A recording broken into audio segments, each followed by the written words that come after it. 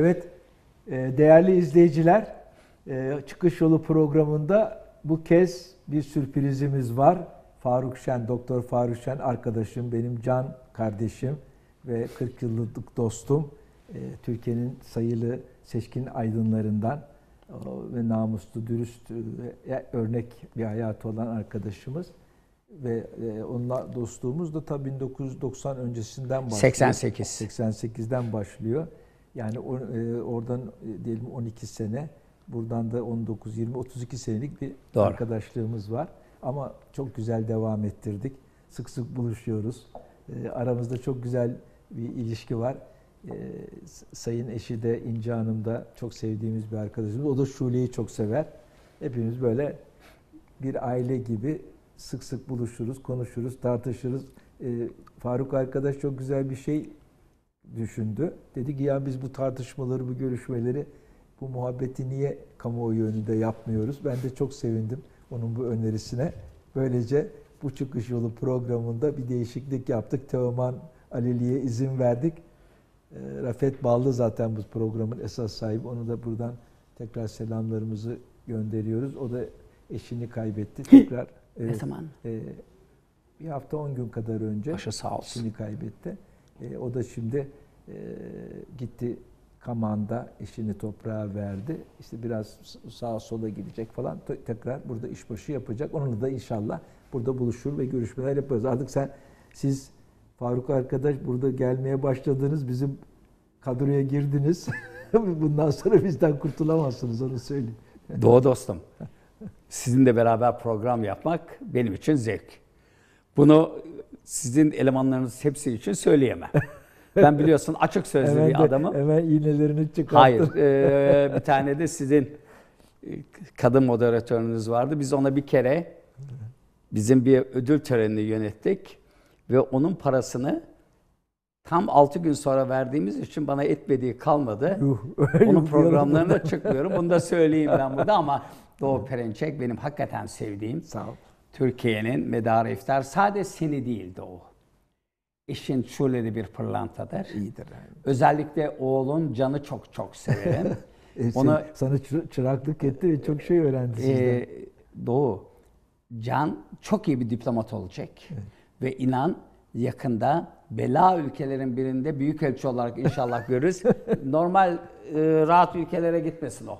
tamam. Bela ülkelere e, gitsin ki başarısın orada. Onun do- duası da ona uygun yani mücadeleyi sever. Var. Sen sever. de iyi yetiştirdin. Çok sağ Çok şey öğrendi.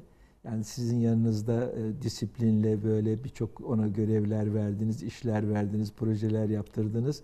Hep bana gelip Faruk abiden çok şey öğreniyorum diye Doğucan, söylemiştir. Ona biz hafif de bir kazık attık. Uygur Türklerine yönelik bir projenin içine çektik ama daha proje doğru düz yürümüyor. Avusturyalılarla beraber yaptığımız bir projede de yer alıyor. İyi, güzel, çok evet. güzel. İnşallah e, o konuda da insanlığı aydınlatan, Türkiye'yi aydınlatan çok güzel işler yaparsınız. Şimdi Hı. değerli dostum, bu sohbet programını ben de sevindim. Yani e, sizden bir akşam yemek yerken bunu karşılıklı önerdik ve ben dedim ki buna moderatör olmasın. Evet. Sen dedim pardon. Sohbet toplantısı yapalım dedim evet. ve sohbet toplantısı yapıyoruz. Tabii ki sohbet yaparken ilk önce Doğu Perinçek Türkiye'de bir açıdan çok sevilen, bir açıdan da nefret edilen bir adam. Biliyorsunuz benim dostlarım arasında sizi o kadar sevenler var ki önemli bankanın yönetim kurulu başkan yardımcısı, avukatlar, iş dünyasından hepsi sizinle yemek yemek için birbirlerinden yarışıyor. Sağ olun. Bu programı da ben açıkladığım zaman bana çok sistem eden insanlar da oldu. Nasıl Doğu Perinçek'te bir programa çıkıyorsun de ben zevkle çıkıyorum. Zira hakikaten bir özgeçmişine baktığımız zaman Doğu Perinçek 1942'de doğmuş evet. ve iftihar edilecek bir geçmişi olan kişi. E, kişi. Dört dönem milletvekili yapmış bir babanın evet. oğlu. Ama ondan önce de Yargıtay Başkan çalışmış ve bana e, bak babanın da özgeçmişini söylerse bu program 6 saat sürer. Hakikaten onun ben milletvekilliğiyle değil de yargıçlığıyla her zaman gurur duyuyorum. Annem de öyleydi. Ee, babam Türkiye'nin iyi ceza hukukçularındandı ve hakikaten e, Cumhuriyet yargıcı dediğimiz e, o tipi çok iyi temsil ederdi. Yani aşırı dürüst, hukuka çok bağlı ve e, Atatürk değerlerini e, içselleştirmiş. E, onun için ondan da çok şey öğrendim. Onu bir ekleyeyim yani. Ve e, Doğu Perinçek hakikaten Mart 1968'de Türkiye'de siyasi partinin iç düzeni ve yasaklanması rejimi konusunda çok ciddi bir doktor tezi yazmış kişi. Evet.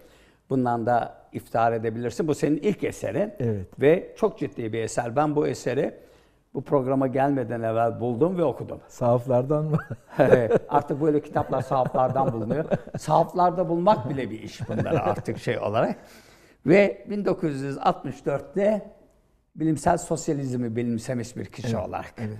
E, karşımda. Ve baktığın zaman dev gençten tutun her türlü politik akımın içinde yer almış ve hakkını veren e, bir kişi olarak giriyor. Ve ben size bir şey diyeyim mi? Doğu Perinçek'e Türkiye çok haksızlık etmiş. Dört kere cezaevine sokmuş. Beş ve altı. Yapma ya. Evet. Küçükleri saymıyoruz. 10 aylıkları saymıyoruz. tamam. Yani daha bir uzunları. Yıldırdan aşağıları saymazsan doğru. Ve ben Doğu Perinçek'le konuşurken bir gün bile bu kadar haksızlığa uğramış adam Türkiye hükümetlerine en ufak serzenişte bulunmamış bir kişidir. bu da iftar edilecek bir olay. Yani ülkede böyle insanlar az. Başkaları en ufak olayda Türkiye'yi terk edip gider, başka ülkelere gider. Doğu Perinçek'te bunu görmedik. Sonuna kadar bu işin hakkını e, veriyor. Yani 12 Eylül darbesinden sonra 1980'de kaç yıla mahkum edildi? 8 yıla. Fakat gene insafa gelmiş. 5 yılda bırakılmış. 12 yıl sonra o şey infaz kanunu öyle. Yani infaz kanununa göre 12 yılda hüküm giysen onun bir miktarı yatılıyor. Yani bizim infaz kanunu diyelim 30 yıla mahkum eder ama onun infazı 20 yıldır. Onun hesapları var. O kanun da çok sık değiştiği için. Evet onu takip etmemizde güçlük oluyor. evet, şimdi şimdi son zamanlarda yakın dostum MHP yeni bir infaz kanunu çıkararak belirli mafya liderlerini daha evvel çıkarmak istiyor. O da ayrı bir galiba. Evet. E, onlar da Türkiye'nin bir ayıbı olarak görebiliriz. E, bilimle özdeşen noktası Almanya tecrübesi. Doğu Perinçek Almanya'ya öğrenci olarak gidip belirli bir sürede Almanya'da çalışmış bir kişi. Almancası iyi olan, İngilizcesi de iyi olan bir kişi. Ve şunu biliyorum, Almanya Cumhurbaşkanı Frank-Walter Steinmeier Cumhurbaşkanı seçildiği zaman ilk defa ona çok iyi bir kapakta hangi kitabı? Göte'nin Doğu Batı Divanı yani West hediye eden divan. E, kişi.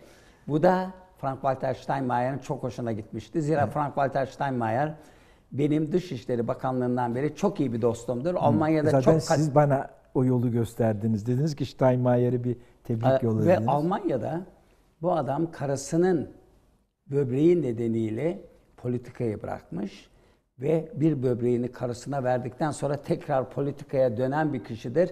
Böyle özverili politikacılar Türkiye'de hiç yoktur. Almanya'da çok azdır. Evet. Yani Türkiye'de yani hiç yoktur. Faziletli bir çok doğru. Devlet adamı ve hakikaten Türkleri de çok seven, Atatürk'e de çok değer veren bir devlet adamıydı Almanya'nın. Ee, Doğu dostum. Türkiye, Angela Merkel ve Tayyip Erdoğan kedi köpek gibi savaştıkları zaman ben bir kere Frank-Walter Steinmeier'e gittim. Dedim ki, acaba Türkiye Cumhuriyeti, Cumhurbaşkanı size Türkiye'ye davet etse şu durumda gelebilir misiniz? Çok iyi bir mesaj olur dedim. Yani e, bu da. Hayır dedi gelmem dedi. Eyvah Oo. dedim. Ben diye de bir jest yapacağım. Ben Tayyip Erdoğan'ı Almanya'ya davet edeceğim ve Angela Merkel'la burada görüştüreceğim. Hmm. Bunu yapmak da çok büyük Bravo. bir özveridir ve bunu yaptı. Çok güzel. Tayyip Erdoğan, Türk-Alman Cumhurbaşkanı ki bizim o zaman Almanya'da imajımız çok kötü bir devirdeydi. Bunu yaptı, geldi ve görüştürdü. Ondan sonra diyalog iki ülke arasında tam düzelmese bile eski sertliğini e, bıraktı. Şimdi yöneticilik yaptığı dernek ve kuruluşları saymayacağım. Şimdi bir Steinmeier'le ilgili ben araya girip... Söyle, bir, tabii. Şimdi o Steinmeier'e bir e, kutlama mesajı yolladım işte mektup yolladım. E, o mektupta da Göte'nin Doğu Batı Divanı'nı koydum. O Göte'nin o Doğu Batı Divanı'nda tabii e, Türk uygarlığı, İslam uygarlığına çok büyük bir e, saygı var ve o kökleri ortaya koyan çok e, olgunluk eseri Göte'nin falan. Onu da ekte yolladım. Ama yazdığım mektupta da şöyle bir şey vardı. Dedim ki bizim büyük şairimiz, şairimiz Fazıl Hüsnü Dağlarca e, Batı Acısı şiirinde Almanlar makinaları sever, biz Almanları severiz diyor dedim. Fakat dedim, siz dedim Sayın Hersteinmeier, siz makinaları seven değil, Türkleri seven Almanlardansınız falan. Bunu e, aldığı zaman şeyi, onun e, özel kalem müdürü, arkadaşım götürmüştü. A, almış mektubu okumuş, o kısma gelince acayip gülmüş. yani hakikaten o Fazıl Üstün o kitap e, o şiiri de müthiştir. Yani Almanlar makinaları sever, biz Almanları severiz. Evet. Yani Türk ve Alman ilişkisini bu kadar güzel anlatabilir. Değerli Neyse Doğu, kaldığımız yerden. Doğu, değerli e, Doğu. Maalesef biz tek taraflı aşka çok mahkum bir ulusuz. Biz Birinci Dünya Savaşı'ndan evvel Almanları sevmeye başladık. Onları sevdiğimiz için Birinci Dünya Savaşı'na girdik. Bu sevgimiz hep devam etti. Ben 40 yıl Almanya'da kaldım. Evet. Ve Almanya'da Türklere yönelik böyle bir sevgi olduğunu görmedim ki bana her zaman saygıyla, her zaman saygıyla değil, korkarak, bela olarak e, dikkat ettiler. Ama Almanlarda maalesef bu sevgi hiçbir zaman gelişmedi. Ve şu anda 82 milyonluk Almanya ki Türkiye ile düne kadar çok benziyordu. Almanya'nın da nüfusu 82 milyondu. Biz Bizim 80. de 82 idi. Evet. Fakat bu e, dün açıklamaya göre Türk nüfusu 83 milyon 154 bin oldu. Evet. Buna karşılık Almanya'nın 82 milyonluk nüfusunun 3 milyon 200 binde Türk kökenli göçmenler. Evet. Fakat Türkiye'de bizim yanlış politikamız nedeniyle baktığınız zaman 5,4 milyonda Suriyeli geçici sığınmacı var ki... O 82'ye dahil değil değil mi? Değil. Evet. Ve bu bizim bir ayıbımız. Bunlar biliyorsunuz son Elazığ depreminde evet. yollanan yardımları iç edip, alıp Suriye'ye götüren veya Türkiye'de satan insanlar. Bu da bizim Türkiye'nin yanlış bir politikasıdır. Bu konuda düşüncenizi bilmek istiyorum. Biz hepimizin hayran olduğu Mustafa Kemal Atatürk çerçevesinde Türk kimliğimizi öne çıkardık. Türk kimliği Türkiye'de katiyetle ırkçı bir kavram değildir. Evet. 47 ayrı etnik dinsel gruptan oluşan bir ulusuz. Fakat şu söylemimiz vardır. Ne mutlu Türk'üm diyene yani Türklükle özdeşene. Evet. Bu 47 yani ayrı gruptan Türk kabul da, eden herkese. Herkes. Ayrım yapmayız, şey yapmayız. Fakat Suriyeliler geldikten sonra biz Türklükten biraz ümmetliğe dönüşüyoruz ki bu herhalde beni çok rahatsız ediyor. Herhalde Doğu Perinçe'yi de rahatsız eder. Ben ilk olarak size Türkiye'deki Suriyeli geçici sığınmacıların Türkiye'de kalması mı gerekir, dönmesi mi gerekir? Bu konuda görüşlerinizi alarak başlamak tabii, istiyorum. Tabii hay hay. E, tabii onlar vatanlarına dönmek isterler ve dönecekler. Yani o diyelim 3-4 milyon bunun Türkiye'de kalanı %20'yi geçmeyecektir. Öyle tahmin ediyorum. Çünkü toprakları var, evleri var, dükkanları var, işleri var, komşuları var, şemşerileri var, okulları var, sevgilileri var. Ee, onlar ülkelerine dönmek isteyecektir. Bunu sağlamamız lazım. Bu da nasıl olur? Suriye'nin toprak bütünlüğünü Suriye hükümeti, devleti sağlar. Suriye ordusu Suriye'nin tamamına hakim olur ve içindeki terörü temizler. E o zaman da e, buradaki o Suriyeli misafirler diyelim onlara. Suriyeli misafirlerimizin kendi evlerine, yurtlarına dönme koşulları yaratılır. Tabii e, bizim hükümetimizin yanlış bir e, pro, pro, projesi var. Diyor ki 32 kilometre derinlikte sınır boyunca biz e, 400 küsür kilo, kilometre boyunda 32 kilometre derinlikte bir güvenlik bölgesi yapalım. Burada konutlar bilmem neler inşa edelim.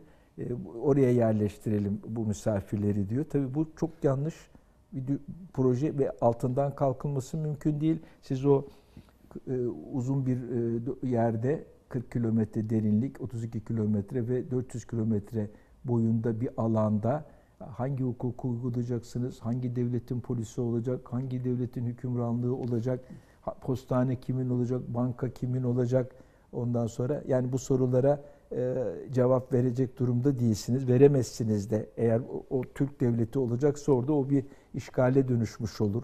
Yok Suriye devleti olacaksa da se- siz niye oraya gidiyorsunuz? Yani onun için biz e, Vatan Partisi olarak şunu savunuyoruz. Teröre karşı süpürme değil bitirme stratejisi uygulayalım. Yani 32 kilometrenin arkasına PKK'yı atmak değil ve diğer terör örgütlerini Suriye devletiyle, İran'la, Rusya ile işbirliği yapalım ve e, Suriye'nin toprak bütünlüğünü Beşar Esad yönetimi e, hayata geçirsin. Ondan sonra da Suriye'de huzur gelsin, istikrar gelsin. Buradaki misafirler de evlerine dönsün. Evlerine diyoruz. Yani e, 32 kilometre e, derinlikte olan ara e, topraklarda değil, daha güneyde olabilir, başka yerde olabilir. Herkes evine dönsün. Ee, Doğu dostum, Suriyeli geçici sığınmacıların, ben misafir terimini kullanmıyorum. Misafir 9 yıl kalmaz. Ee, o biraz bıkkın. Biz çok misafirperver olduğumuz Yok, için yok.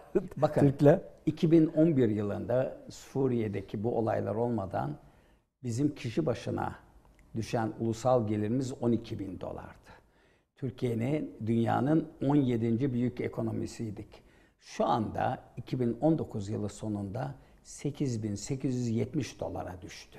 Bu demek ki Suriyeli geçici sığınmacılar bana bayağı masraflı oluyor. acaba bu, bu bunun günahını da onların mı sırtına yıkıyoruz yani? Yalnız ben size bir şey diyeyim mi? Türkiye'de bu konuda en az harcanan para 58 milyar dolar olarak hesap ediyor. Ümit Özdağ'a baktığınız zaman 3,5 milyonu resmi, 1 milyon 400 bini de 1 milyon 800 bin de gayri resmi Türkiye'den gelmiş. gibi. Yani 5 milyon 300 bin kişiye bizim böyle bir ulusun bakması çok büyük bir yok. Şimdi sizin dediğinizin ben bir bölümüne çok iyi katılıyorum. Suriye ile bizim artık el ele sıkışmamız ve onların toprak bütünlüğüyle geri dönmelerini sağlamamız lazım. Yalnız bu iş için siz iki ülke kattınız. Rusya ve İran. İran'ın biliyorsunuz Türkiye'nin olmadığı kadar büyük emelleri var Suriye'de. Rusya şu anda İdlib'deki son saldırıyı Suriyelilere kendisi yaptırdı ve benim 8 askerimin ölmesini sağladı. Şey- Bu konuda Rusya bizim lehimize bir şey yapabilir mi? Ben yapmayacağından hareket ediyorum. Türkiye'nin direkt görüşmeyle Asad'la biliyorsunuz bir ara çok iyiydi iki ülkenin ara, ara- araları. Halep'teki futbol sahasının açılmasına Tayyip Erdoğan Fenerbahçe'yi götürdü. Ve beraber resim eee çektirdiler dostu. Bir anekdot anlatayım vaktimiz var. Tabii. Ben eşimle bir de bir Türk çiftinden 2008'de yılbaşında Suriye'ye gittik. Suriye'de Şam'da taksiye bindiğimiz zaman kim olduğumuzu sonra Türk dediğimiz zaman para almamaya kalkarlardı. Ve bana otelde o zaman bir Türk firması o oteli işletiyordu. Ee, Fransızlardan almıştı. Bana bir restoran tavsiye ettiler. Muhakkak gidin gelin en azından bir hafta evvel yol yer açılın diye, ayırın diye. Ben hem Halep'e gidecektik hem e, diğer kentlere hem de Şam'a. Ben bir emrivaki yaptım. Eşimi ve diğer aile dostlarımızı alarak o şeye gittik restorana. Adam kapıda karşıladı. Rezervasyonunuz var mı dedi. Ve orada ben çok büyük bir Asad karısı, Tayyip Erdoğan ve karısının yağlı boya resmini gördüm. Dedim ben yer ayırmadım. İkisi de benim çok iyi dostumdur. Muhakkak buraya git yemek ye dediler dedi. Ah dedi. Bizi en iyi masaya ayırdı. Öğle yemeğiydi. Yemeği yedik. İzzet-i İkram korkunçtu. Ah, çıkarken hesabı dedim. Biz dedi Asat ve Tayyip'in dostlarından para almayız. Kardeşim dedi. Bunu yapma benden parayı al. Ayrı bir şey bu. Almayız deyince ben akılsızca bir hareket yaptım. Estağfurullah. Ben dedim ki Tayyip Erdoğan beni tanır, ben de onu tanırım. Ama Asad'la hayatımda hiç el sıkışmadım, karısını da tanımam. Ben burada yemek yemek için bunu söyledim dedim. Adamların yüzü böyle aşağı doğru düştü. Parayı aldılar ve eee, çıktı. Bu kadar büyük bir sevgiden şu anda karşılıklı nefrete gelmişiz ki Rusya burada bence biraz ikili oynuyor. Amerika zaten hep ikili oynadı. Zira Amerika'nın bir hedefi var. Kuzey doğusunda Suriye'nin bir Kürt devleti kurdurmak. Hedef Biliyorsunuz Almanların Avrupa Birliği'nin Ursula von der Leyen Almanya'nın savunma bakanı iken Barzani orada bir devlet kurdurmak için bütün askeri yardımları yaptı. Fakat biz Irak merkezi hükümetinden anlaşıp orada şeyi önlediğimiz zaman referandumu Barzani. Barzani silaha attı ve Almanların emeklerinin nasıl boşa gittiğini gördük. Şimdi Ruslar bunu Amerikalılar bunu Suriye'de yapmak istiyorlar. Amerika ile e, Ruslarla Amerika arasında bir anlaşma var. Yani Amerika belirli bölümleri istiyor, kuzey doğusunu. Rusya Laskiye limanı ve Akdeniz'e açılmayı istiyor. Suriye'de kendi toprak bütünlüğünü kavuşturma, kavuşmak istiyor. Böyle bir durumda Rusya sizin görüşüne göre Türkiye'ye namuslu davranıyor mu? Yoksa o da Amerikanlar gibi emperyalist emelleri olan bir ulus mu? Valla Rusya'nın menfaati Suriye'nin toprak bütünlüğünün sağlanması ve oradan Amerika'nın gitmesi. Yani Rusya'nın orada bir e, yerleşip bir egemenlik kurmak değil de e, Amerika gitsin e, çünkü onu bir rakip olarak görüyor. Ve e, Laskiye'de limanı aldı. Orada da Ruslar yerleşti. Suriye ile Suriye'nin menfaati Rusya ile İran'la hatta Türkiye ile de beraber yani Amerika'yı oradan kovmak için Suriye'de Rusya ve İran'la işbirliği yapmak durumunda. E, o bakımdan e, o limanların falan e, Rusya'ya açılması Su, Suriye hükümetinin kendi takdiri. Yani o tabii bizim karar verebileceğimiz veya reddedebileceğimiz bir konu değil. Ama şunu söyleyeyim. Türkiye, Rusya, İran'ın burada ortak menfaatleri var. Nedir? E, orada bir sizin de bahsettiğiniz sözüm ona Kürdistan adı altında bir ikinci İsrail devletinin kurulmasını önlemek. Bu üç ülkede, Türkiye'de, İran'da, Rusya'da o Kürt devletinin kurulmasını istemiyor. Zaten söylediğiniz Barzani referandumunun da e, önlenmesi, bölge ülkelerinin birleşmesiyle mümkün oldu. Biz de İran'a o sırada gittik Eylül ayında 2017 ve önlenmesi için İran devletiyle en yüksek düzeyde görüşmeler yaptık. Yani toplam olarak baktığımız zaman bir Kürdistan kurulmasına karşı olan bölge ülkeleri var. Onlarla birlikte olan Rusya var. Karşı tarafta da Amerika ve İsrail var. Onun için burada bizim Rusya ile ortak çıkarlarımız söz konusu. Yani ortak bir cephede yer alıyoruz. O cephe yalnız Suriye ve Irak'ın kuzeyinde değil, Doğu Akdeniz'de de doğru politikalar izlersek söz konusu. Libya'da da söz konusu. Hatta Karadeniz'de de söz konusu ama maalesef bizim hükümetimiz ciddi bir yanlış yaptı birkaç gün önce. Ukrayna'ya 200 milyon Türk lirası değerinde silah alması için yardımda bulundu. Yani tabii bu da e, o dostlukları e, tartışılır hale getiriliyor ve güven kaybına yol açıyor. Yani Türkiye Ukrayna'ya, Rusya'ya karşı silah kullansın diye 200 milyon veriyor. Ve öte yandan Rusya ile dostluklar kuruyor. Yani bunlar çok ciddi yanlışlar. Tabii bu e, Amerika için de fırsatlar yaratıyor. İsrail için de. Ve işte en son yaşadığımız süreç askerlerimizin şehit edilmesi. Ama burada önemli bir olayı da açıklayayım. E, belgeleri, resimleri, fotoğrafları falan da e, bugün e, Rus basınından e, buldu arkadaşlar. Moskova'dan bize bildirdiler. Daha önce dört Rus subayı Türk Silahlı Kuvvetleri'nin denetiminde olan bölgede katlediliyor, öldürülüyor. Ve tabi bu bizim Türkiye'den gizlendi. Rusya'da da bu resmen açıklanmıyor. Ama fotoğraflarını falan ele geçirdik. Bu da ilk defa da bu ulusal kanaldan Türkiye'ye duyurmuş oluyoruz. Yani böyle bir provokasyonlar, kışkırtmalar, tertiplerle de her iki ülke karşı karşı. Yani bir kuvvet Türkiye ile Rusya'nın arasını açmaya çalışıyor. Türkiye ile Suriye'yi e, birbirine düşürmeye çalışıyor. O kuvvette Amerika ve İsrail. Bunları da dikkate almamız lazım. Önümüzde bu provokasyonlara karşı çok uyanık olmak e, bir milli duruş olarak gösteriyor kendini. Değerli dostum, Rusya dediniz emperyalist emelleri yok. Fakat bu kadar bizim canımızı yakan PKK'nın Moskova'daki temsilciliğini neye bağlıyoruz? Orada ciddi, güçlü bir PKK e, temsilciliği var.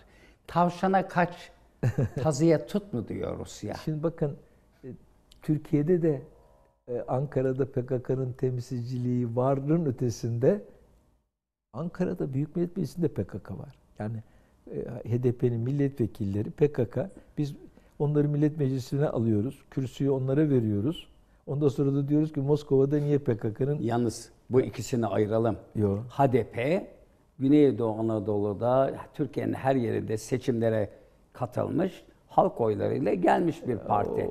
Ve baktığınız zaman HDP'nin mecliste olması Türkiye halkıyla diyaloğu geliştirmesi açısından çok kötü değil. Tabii ki PKK'nın, HDP'nin PKK'dan kendine distans Ayırması göstermesi lazım.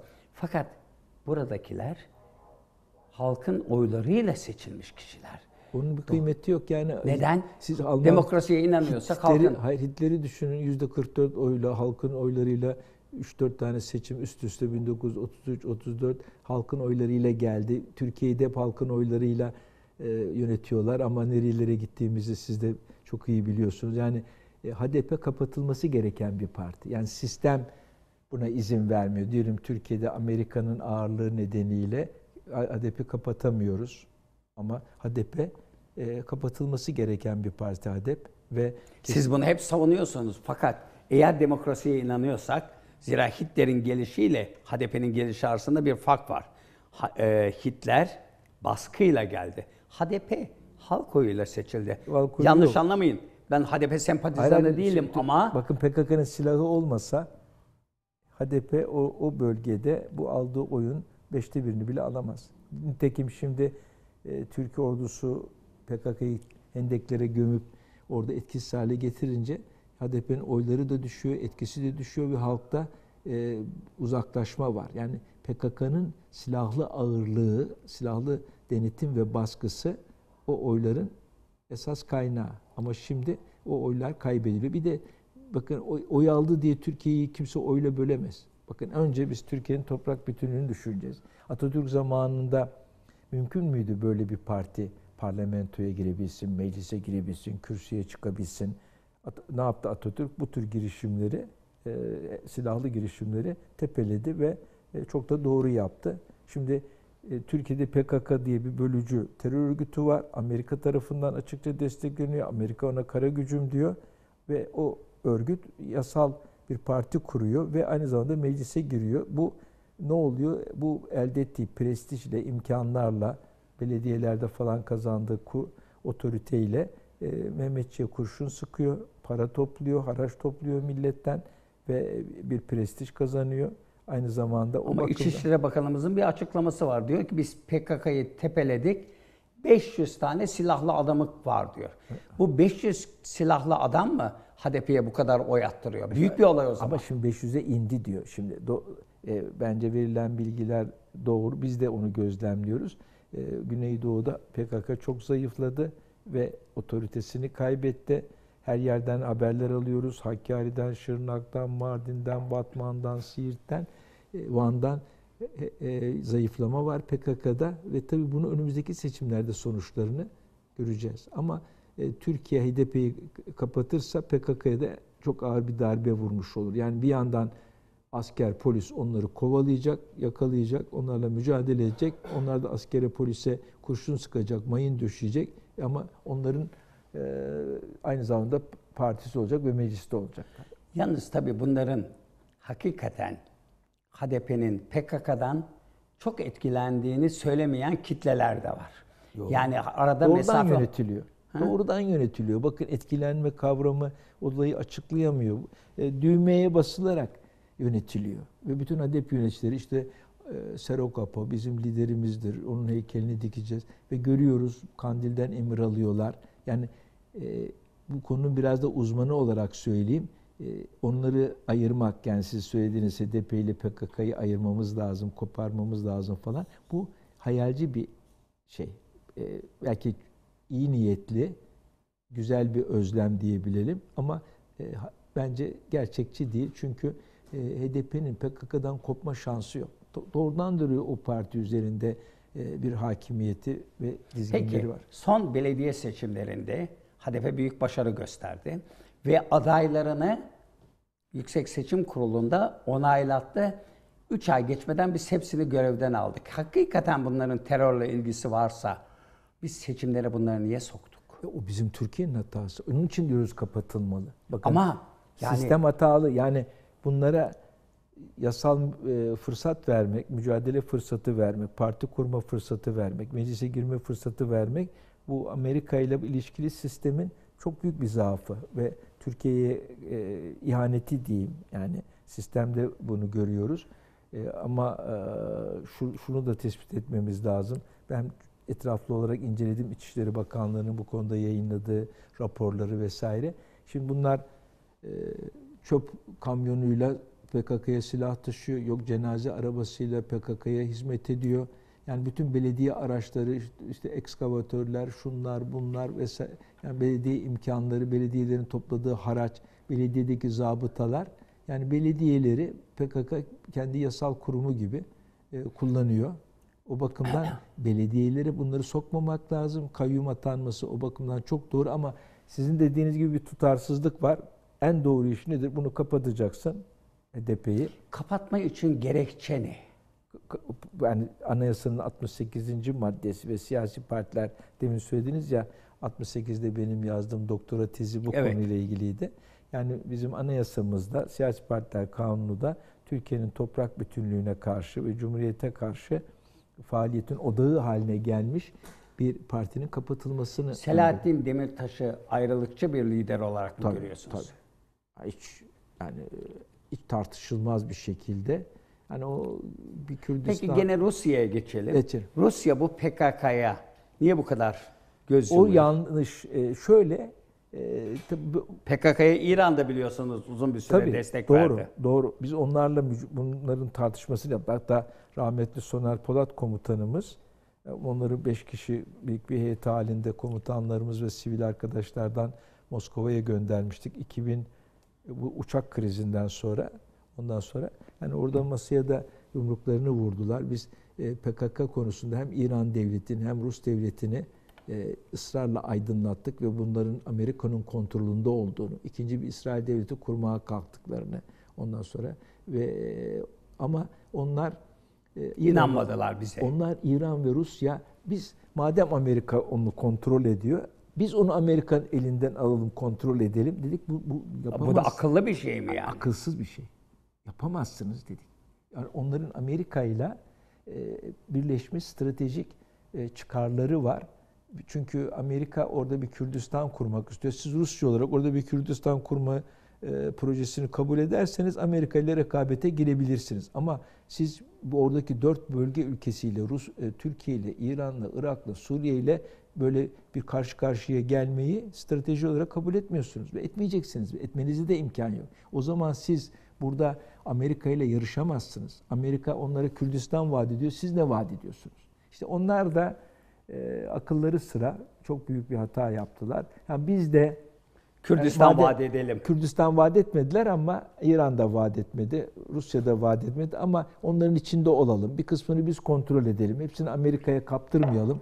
Bize dedi ki siz bu kafayla siz İran'ı kaybedersiniz, Türkiye'yi kaybedersiniz, Suriye'yi kaybedersiniz, Irak'ı kaybedersiniz. Onun için bu politikanız çok yanlıştır. Suriye'yi kaybetmediler. Suriye'yi ikna ettiler. Bak, Kuzey Suriye- Doğu'da Kürt devletini Yok, Suriye ikna olmadı ona ama Suriye şöyle Amerika orada bir e, Suriye'de karışıklık yaratıp efendim e, iç isyanlar falan kışkırtıp Suriye'yi karıştırınca tabii Suriye'de Amerika ile baş edebilmek için Türkiye'de maalesef Suriye'ye terör ihraç etti. Yani bizim e, Tayyip Erdoğan yönetimi de Amerika ile birlikte Suriye'nin bölünmesi projesine Suudi Arabistan'la ve Körfez şehirlikleriyle birlikte dahil oldu.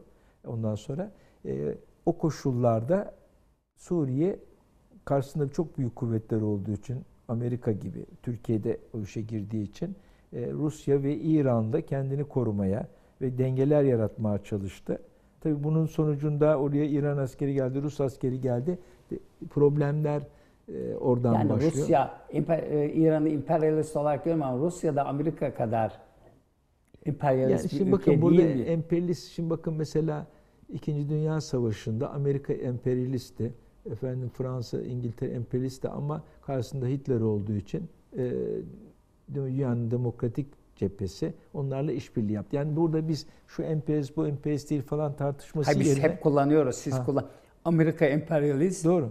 Rusya, Çin, İran anti Ben emperyalist. de diyorum ki onların emperyalistliğini tartışmadan bugünkü tabloda ondan sonra e, onların bizim yanımızda olma şansı var. Yani bizim açımızdan böyle bir şans var. Amerika'yı dengelemek için bu şansı değerlendirebiliriz. Onun için burada efendim e, Rusya emperyalizmi değil mi tartışması yerine Rusya ile bizim ortak çıkarlarımız var. Amerika'ya direniyor. Ne ister emperyalist amaçlarla dilensin, ister başka amaçlarla dilensin. Onu o tartışmaya girmiyorum ama Rusya'nın Amerika'ya karşı koyduğu bir gerçek. Ve bu bizim menfaatimiz. Öyleyse biz bunu Amerika-İsrail tehditleri karşısında çok iyi değerlendirebiliriz. Şimdi bunda değerli dostum çok ikna olduğumu söylersem yalan söylerim. Estağfurullah. Hayır. E zaten Neden burada niye musunuz? buluştuk? Hayır, Karşılıklı Rusya- birbirimizi onaylamak için değil. Rusya Laskiye'de limanını aldı. Evet. Ve buna karşılık diğer emperyalist ülke Amerika'nın da Kürdistan diye bir ülke kurmasına yeşil ışık yaktı. Yani Yok. Suriye'nin kuzeyini, kuzeybatısını Rusya, kuzeydoğusunu Amerika el koydu. Diğer taraflarını İdlib'den aşağı kadar Suriyelilere bırakmak istiyorlar. Gönül ister ki herkes çekilsin, Suriye'yi toprak bütünlüğüne kavuşsun. Tabii. Ama iki büyük ülkenin de böyle bir emeli yok ve İran da Suriye'ye karşı ciddi destek e, veriyor. Onun da belirli emelleri olduğunu e, biliyoruz. Şimdi değerli dostum, ben bugün iki görev üstlendim. Buyurun. Hem sizden sohbet ediyoruz, çok canlı bir sohbet. Evet. Hem de gözüm kameramanda. Nedir? Yavaş yavaş ara verelim mi diyor. Arayı verelim mi arkadaşım? Reklam Şimdi arası. e, reklam arası verelim. Sohbet çok iyi gidiyor. Güzel. Reklamdan sonra biraz daha olayları Tamam. Sen derinleştirelim. idareyi ele aldın. Evet. idareyi ele, ele evet. aldın. Çok Bundan güzel. sonra beni program direktörü olarak alıyorsun. Peki çok sağ olun. Siz sağ olun. Kısa bir reklam arası. Sağ olun.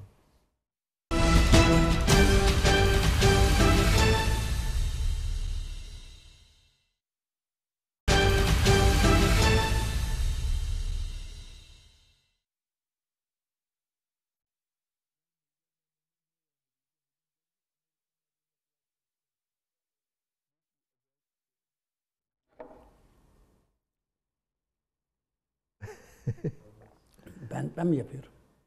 Evet. Merhabalar. Evet. Şimdi haspa, sohbetimizin ikinci bölümüne geçiyoruz. Zevkli bir sohbet oluyor. Şimdi biraz e, Doğu Perinçe'yi tanırım ama epey de bir taradım. 22 dernekte, kurumda kurucu üye veya hala üyesin. Vallahi Türkiye'de e, bu konuda bu kadar aktif olan az kişi Nereden var. buldun bunları ben bile E, bilmiyorum. ben bir- gide- bittikten sonra vereceğim.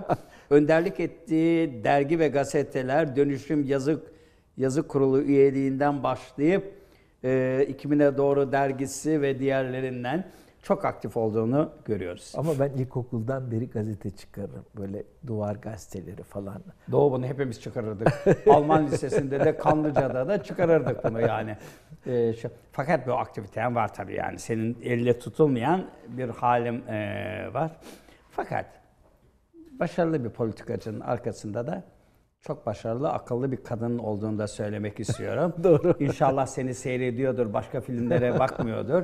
Şule Perinçek'in Vallahi sen, seni seyrediyor olabilir de beni seyrettiğini zannetmiyorum. Şule Perinçek'in sende emeği çok büyüktür. Çok klas bir Senin kadın. sayende bu programı seyrediyor olabilir yoksa benim programlarımı hiç Bakmıyor mu? Ama Peki Can bakıyor mu? bu Can Bakar. Can'ı da buradan selamlayalım. aleyküm-. Eğer Türkiye Dışişleri'nin kafası çalışıyorsa Can'ı en kısa zamanda Dışişleri bünyesine katar İnşallah. ve başarılı bir büyükelçi olmasında katkısı bulunur. Bu Can'ı sevmenin dışında Türkiye'yi sevmekle özleşmiştir. Böyle bir adamın Bir de Türk dışı- siz onu yakından tanıdınız. Sizin yanınızda çalıştı. Onun şeylerini, vasıflarını çok iyi biliyorsunuz. Ee, Dışlarıyla ilgili projelerde hep sizin yaptığınız projeler. Mesai arkadaşlığınız oldu, abiliğiniz oldu. Çok güzel ilişkileriniz Mesai arkadaşlığı, abilikte ve yaşım ortaya çıkacaktı o. Şimdi baktığınız zaman sizi ilk defa 12 Mart 1971'de Evet. cezaevinde tanıştırmışlar. Evet. Ama fazla kalmamışsın. Ye- 1974'te herhalde 20 sene hapis yedim fakat af çıktı. Bu Raşan affı değildi değil mi? Bu Ecevit'in affıydı. Bu 74 affı. Fakat o affın e, oylamasında kalktı Milli Selamet Partisi Ecevit'in ortakları bizi bize oy vermedi. 141. maddeden mahkum olanlar affın dışında kaldı. 146'dan terörden mahkum olanlar affın içinde kaldı. Yapma. Evet. Bak bilmiyorduk. Evet. Sonra Anayasa Mahkemesi'ne başvurduk falan filan. İşte aylar sonra Anayasa Mahkemesi Hak yolunu e, yerini buldu. eşitlik dedi olmaz dedi. Bu genel laftır dedi. Herkesin yararlanması gerekir. Yani orada Evet. e, o şekilde çıkabildik. 1999'da Ergonokon davası olarak sizi cezaevine buyur ettiler. 2006. Şey, 2004, 4, 2008. Peki bu 1999'da 99 10 o ay şey. kalman O o şeyden er, onun Ergenekon'la ilgisi yok. E, o da 10 ay bir şeyden mahkum ettiler. E, Kürtlerin haklarını, hukukunu savunmayla ilgili e, mahkum ettiler. Kürtleri. Tabii, e, tabii biz çünkü Bana bak. eşitliği savunduk. Şimdi o zaman o zamanki Kürtlerin hakkını savunan kişi bugün Kürtlerin partisini kapatmak istiyor. Biraz acayip olmuyor Hayır, mu? O doğru değil. O zaman da e, o partilere izin verilmesine karşıydık. Ama biz vatandaş olarak e, bunlar kendi dil yani e, Kürtçe yazabilsin, efendim enstitüsünü kurabilsin, e, kitap çıkarabilsin gibi bir takım demokratik hakları savunuyorduk. Onların hepsi zaten Türkiye'de gerçekleşti. Yani hayata geçti. Orada bir, bir takım eşitsizliklere, yanlışlara karşı mücadele ettik ama her zaman Türkiye'nin toprak bütünlüğü çerçevesi içerisinde, Cumhuriyet'in birliği bütünlüğü çerçevesi içerisinde ve o demokratik haklarla ilgili mücadele kazanıldı. Ama o zaman öyle bir şey ki onun demokratik hakkını ya bu, bu insanlar da e, e, şey yapabilsin, e, dergi çıkarabilsin, gazete çıkarabilsin dediğin zaman o bir mahkumiyet sebebiydi. Yani oradan 10 aylık bir mahkumiyetim oldu. Bir de şeyde sansür sürgün kararnamesinde Turgut Özal'ın sansür sürgün kararnamesi çıkardı 1990 ve e, basın toplantısı yaptı Sayın Turgut Özal rahmetli. Dedi ki bu kararnameyi dedi Doğu Perinçek için çıkardı. Hiç merak etmeyin kimsenin başına bir şey gelmeyecek dedi ve bizi içeri aldılar. Yapma. Aynen böyle. Basın toplantısında açıkça ismimi vererek basına dedi ki size garanti veriyorum dedi. Hiçbirinize bir şey olmayacak. Biz bu kararnameyi dedi Doğu Perinçek için çıkarttık dedi. Sansür sürgün kararnamesi. O zaman da biz işte 2000'e doğru dergisini çıkarıyoruz. Etkili bir dergi vesaire falan. E, oradan e, Diyarbakır cezaevinde bir müddet misafir kaldık. Ama o da Fakat bunlar da Doğu Perinçek hiçbir zaman Türkiye Cumhuriyeti hükümetlerine tabii.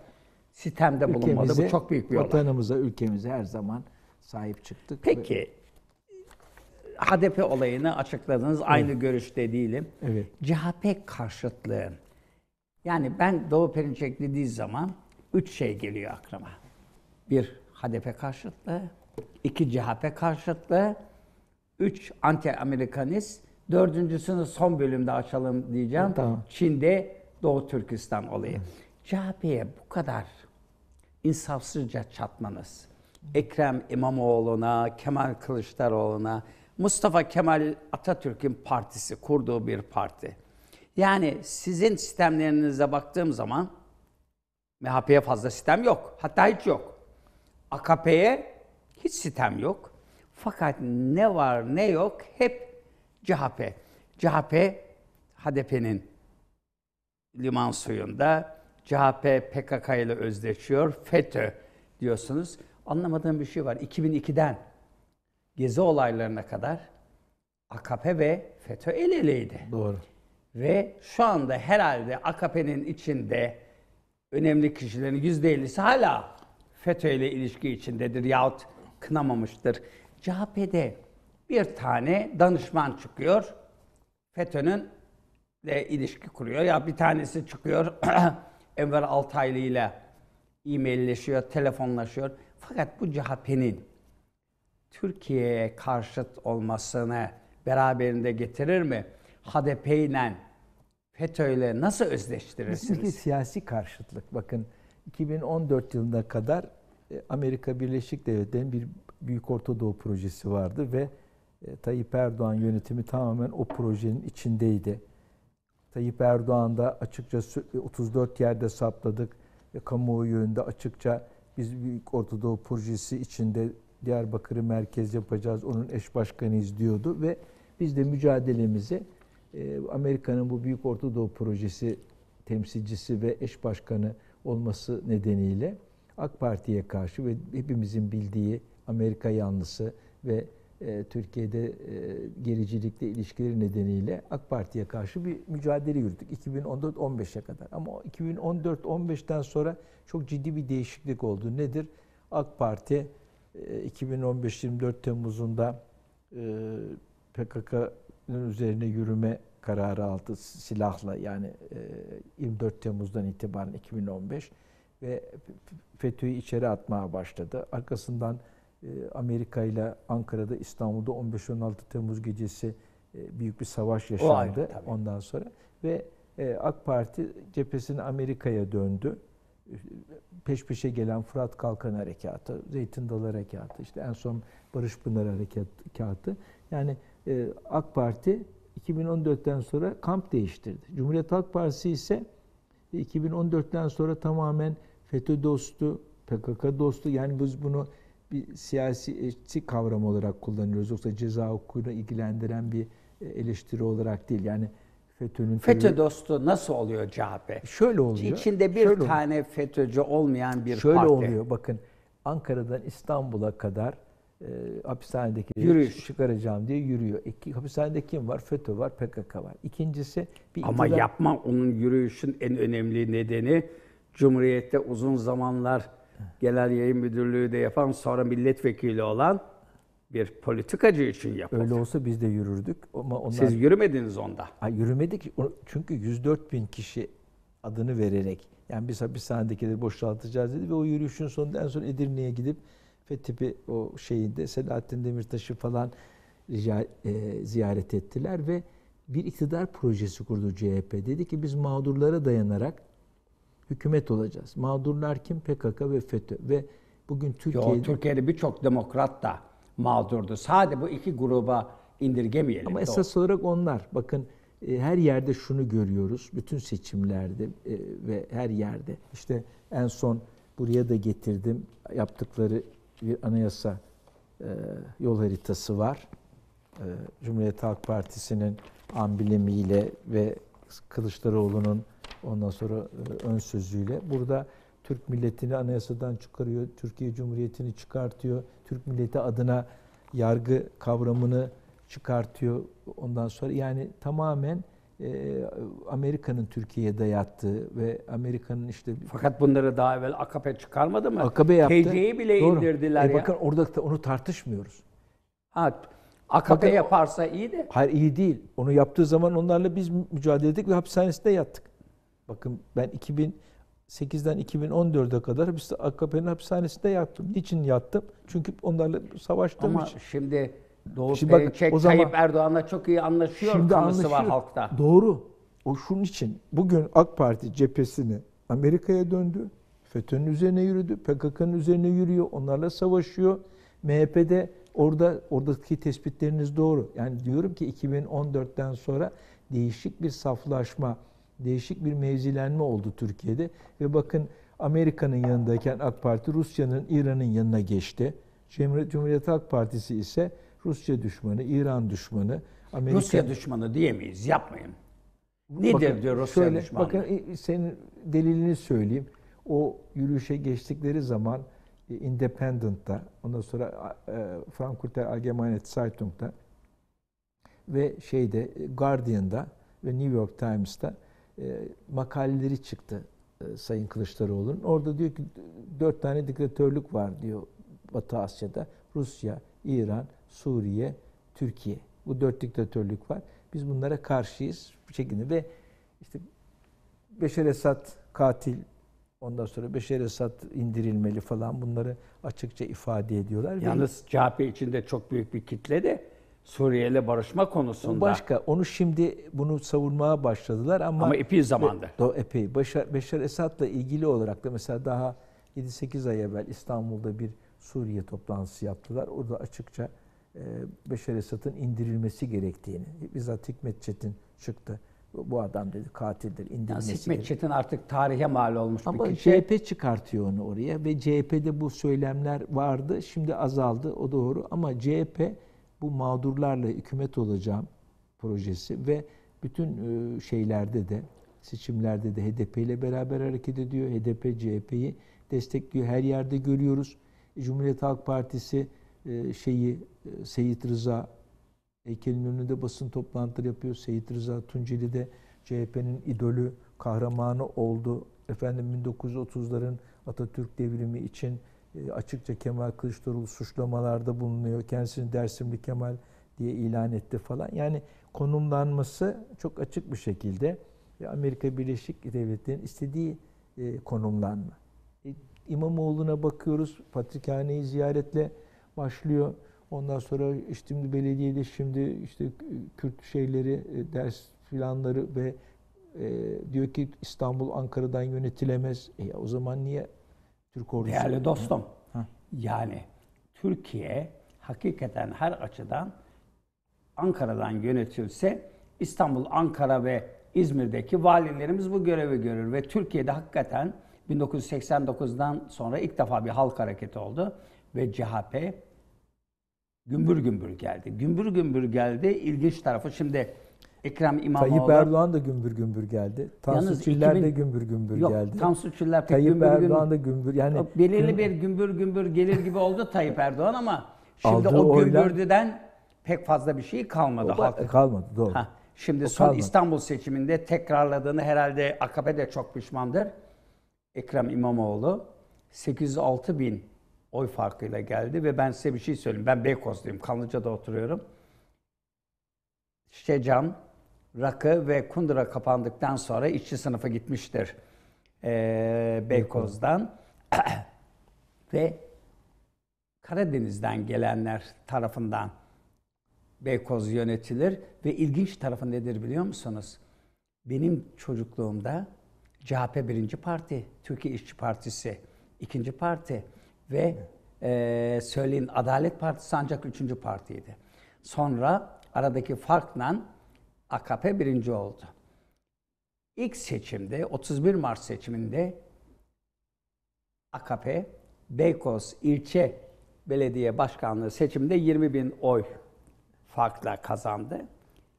24 Haziran seçimlerinde eğer ilçe seçimleri de yenilenseydi CHP 14 bin oyla Valla şimdi bakın seçimlerle beni ikna edemezsiniz. Ben programlara, eylemlere bakıyorum. yani siz demokrasiye inanan bir partisiniz. Ben se- siz de vatan partisi olarak seçimlere katılıyorsunuz. Katılıyoruz ama tabii ki biz de ama şunu da biliyoruz.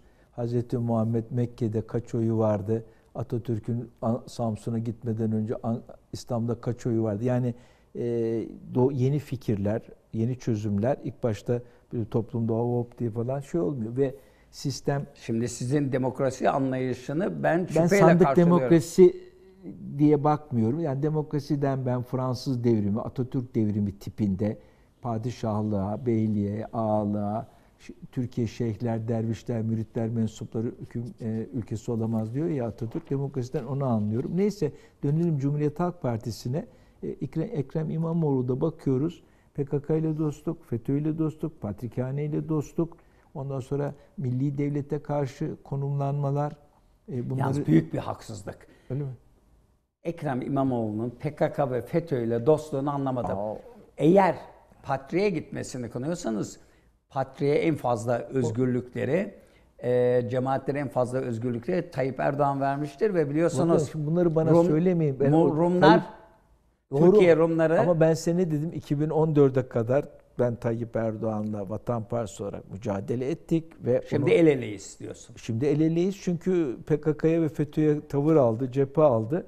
Bu sefer Cumhuriyet Halk Partisi mağdurlarla ben hükümet olacağım diyerek onlarla el ele verdi. Şimdi en son mesela görüyoruz e, baş danışmanları o CIA ajanı e, şeyle Enver Altaylı ile e, olan e, 1200 küsur telefon konuşması Yalnız- var. 167'sini kendisi açmış.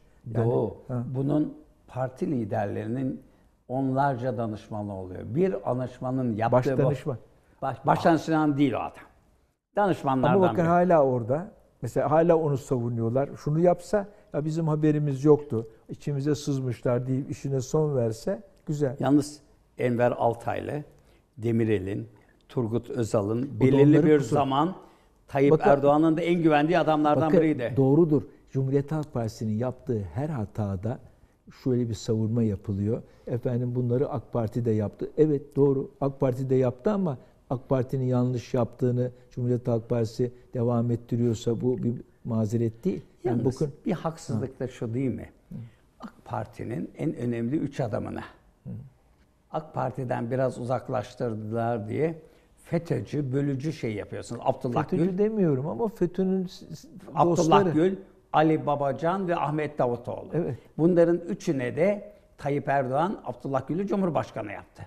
Ali Babacan'ı çok uzun bir süre Bakın, Maliye bana Bakanı hep bunları yaptı. söylemeyin. Yani ben Tayyip Erdoğan'ın bunları yaptığı zaman onunla mücadele eden 2014'e kadar 15'e kadar partinin genel başkanıyım. Yani ben Tayyip Erdoğan'ın o yaptıklarında hep sizinle beraberim ama bugün Cumhuriyet Halk Partisi e, ondan o şeyleri, politikaları devraldı ve e, sürdürüyor. O zaman AK Parti yaptığı zaman karşısına çıkıyoruz. E şimdi CHP yaptığı zaman da karşısına çıkacağız. Ve Amerika'nın e, projeleri içerisinde tamamen bunlarla bir ittifak halinde çok açık hepimizin gözü önünde. Bakın işte en son bu şey tasarıları da üstünde CHP'nin amblemi var. Yahu TC amblemini kaldırdı AK Parti. Ya Bana bunları kop- söyleme Faruk arkadaş. Tabii kaldırdığı zaman onun karşısına çıkıp o emblemleri oraya yapıştıran da bizim öncü gençliğimiz, bizim te- Türkiye gençliği. Sadece o değil, Evet. CHP'liler diğerleri de buna Evet, şey yaptı. yaptılar. Yani burada da Ama haksızlık şimdi etme. bakın AK Parti o hataları yaptığı zaman o AK Parti ile en başta mücadele ettik. Şimdi o zaman tutarlı olmak zorundayız. O çizgiye CHP girdiği öyleyse biz onunla da mücadele edeceğiz. Ama Tayyip Erdoğanlar da bugün PKK ile savaşıyor. FETÖ ile savaşıyor. Ölümüne savaşıyorlar.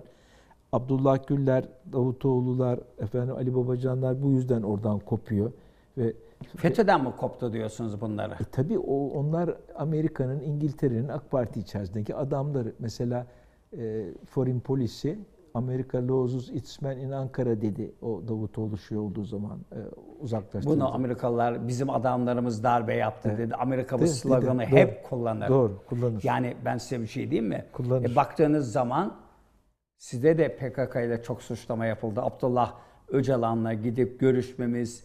Yani burada da kaç sene evvel oldu o olay ama insanlar orada siz de bu- gittiniz. Bak ama ben hep vatan, ben, ben PKK'nın e, öldürdüğü il başkanlarını katlettiği bir partinin genel başkanı. Ben PKK ile ben kanla canla savaşan bir geçmişe sahibim. Ve ben 1990'da e, PKK bana 4 milletvekilliği temsil e, verdiği zaman CHP listesinden onu reddeden adam. E artık onu da kabul etseydin biraz ayıp olur. Ama CHP ona 22 milletvekilliği verdi. Bakın o çok önemli. Cumhuriyet Yani- Halk Partisi 1991 seçiminde Cumhuriyet Halk Partisi değil. Sosyal Demokrat Halkçı Halkçı Parti, SHP. Onun devamı CHP. Yani şimdi. İnönüler işte orada Karakaşlar, Marakaşlar da onlar E, yani.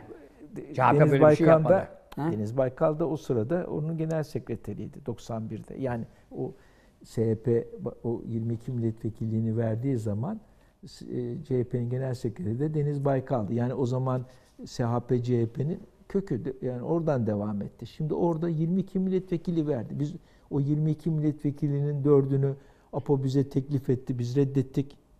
CHP onlara 22 milletvekili verdi. Ve bugün CHP onlarla beraber Yalnız ben sana bir şey diyeyim mi? CHP onları HDP hangi güçte PKK sizden 4 milletvekilini seçtirebilecekti? Yani bu da biraz ağza bal çalmak. Hayır ya CHP listesinden veriyorlar bize. Bakın e, bana telefon etti Murat Karayılan. Dedi ki şimdi ben size Abdullah Öcalan'ın teklifini sunuyorum. Abdullah Öcalan'a Cumhuriyet Halk Partisi 22 milletvekilliği verdi. Bunun dördünü size veriyoruz dedi. Ben de reddettim. Biz dedim e, CHP PKK e, ittifakı içinde veya PKK'nın verdiği milletvekillerini kabul etmiyoruz. E, PKK'da Abdullah Öcalan da dedi ki Doğu Perinçek tenezzül etmedi. Bizim 4 milletvekili önerimizi reddetti. Bakın şunu diyorum. CHP onlara 22 milletvekilliği veriyor ve soktu. Parlamentoya soktu. Yani CHP'nin bu sabıkası eski köklü. CHP'de mi? SHP'de. SHP. SHP. Yani fark etmez çünkü CHP SHP'nin devamı. Yani bugün CHP'de olanların hepsi SHP idi o zaman. Değil. Çoğu arındı. Çoğu. Yok. Erdal İnönü vefat etti. Hikmet Çetin, Güzel de Der, yani. Ercan E, hepsi Deniz alındı. Baykal oranın genel sekreteriydi falan filan. Neyse. Yani e, o SHP geçmişi nerede diyorsa bilmiyorum. Peki onu silelim.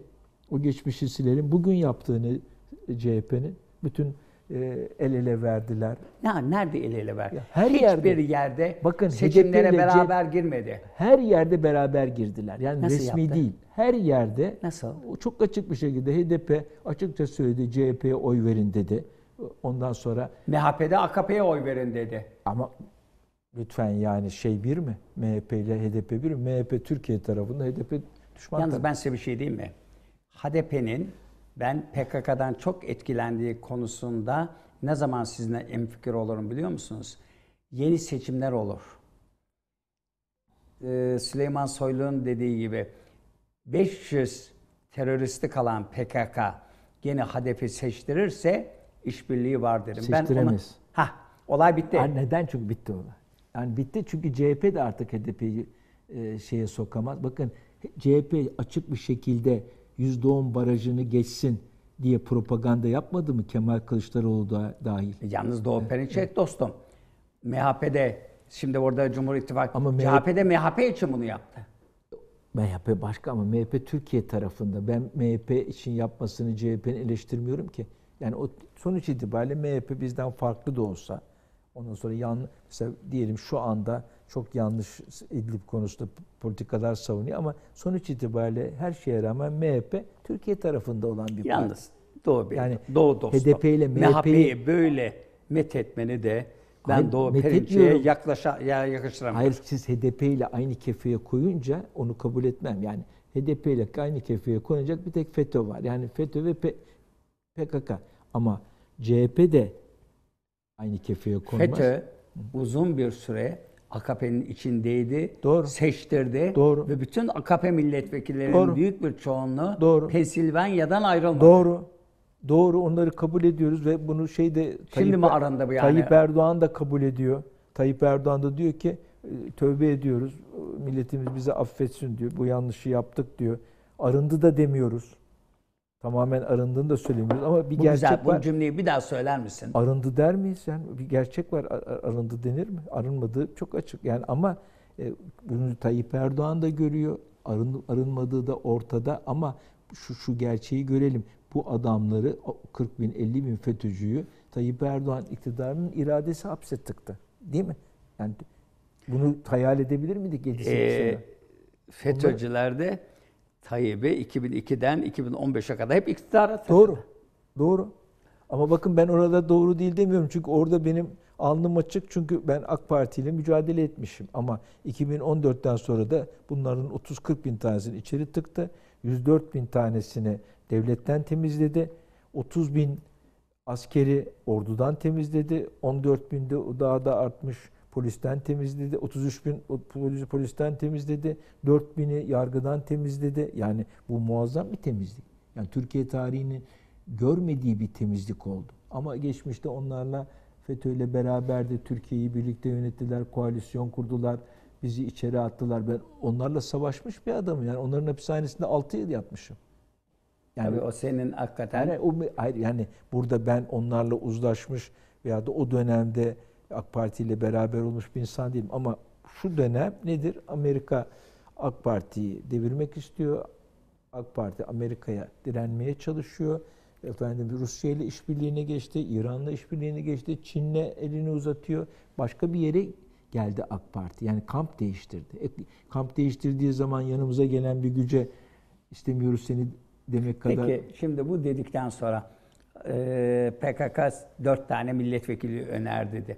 Şimdi önümüzdeki seçimlerde Tayyip Erdoğan sizin partiye 10 milletvekili önerirse ne Ben diyeceksiniz? hiç ben hayaller üzerine konuşmam. Hayır önerirse Olsa- Bakın Vatan Partisi tek başına girecektir ve çok büyük bir başarı kazanacak. O gözüküyor. Bugün görüyoruz işte Türkiye'nin her yerinden davet ediliyoruz ve te- televizyonlara bakın.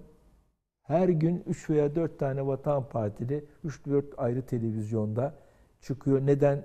Hepsi diyorlar ki Ben Doğu Perinçek dışında pek önemli e, çıkıyor. vatan par- Bolluk çıkıyor, İlker Yücel çıkıyor, Utku Reyhan çıkıyor, Osman Erbil çıkıyor, efendim Serdar Üsküplü çıkıyor. Yani ama her gün mesela dün akşam Sen dört, vardın. dört kişiydik yok. Ben e, Habertürk'teydim, Cennet Türk'te e, Serhan Bolluk vardı. Ondan sonra Ak TV'de Cem Dikmen vardı. Ne Glo- Tüpe TV'de? Ak. Ak TV'de, Global TV'de, ondan sonra e, Global TV'de Osman Erbil vardı. Yani e, öyle geceler oluyor ki 3 veya 4 ayrı televizyonda Vatan Partililer var. Neden? Çünkü bütün toplum Vatan Partiliği istiyor. Onları Değerli dostum şimdi bir şey diyeceğim. Siz Cumhurbaşkanlığına aday olduğunuz zaman biliyorsunuz 100 bin imza toplamanız lazımdı. Ben partiye oy vermedim ama biz Kanlıca ve. Beykoz'da sizin için Sağ imza topladık. Zira demokraside Evet. Doğu Perinçek'in Çok sağ adı- Fakat Doğru kaç yaptın. oy aldınız? 160 bin oy aldık. Aldın mı 160 Evet. bin? Çok iyi. Yani 100 bin imza. ama bakın şimdi o öyle bir seçim oluyor ki o seçimde e, Cumhurbaşkanlığı seçiminde iki yani sonuçta yüzde 50'yi geçen kazanacak. Orada senin gerçek oyların sana gelmiyor. Orada ne oluyor?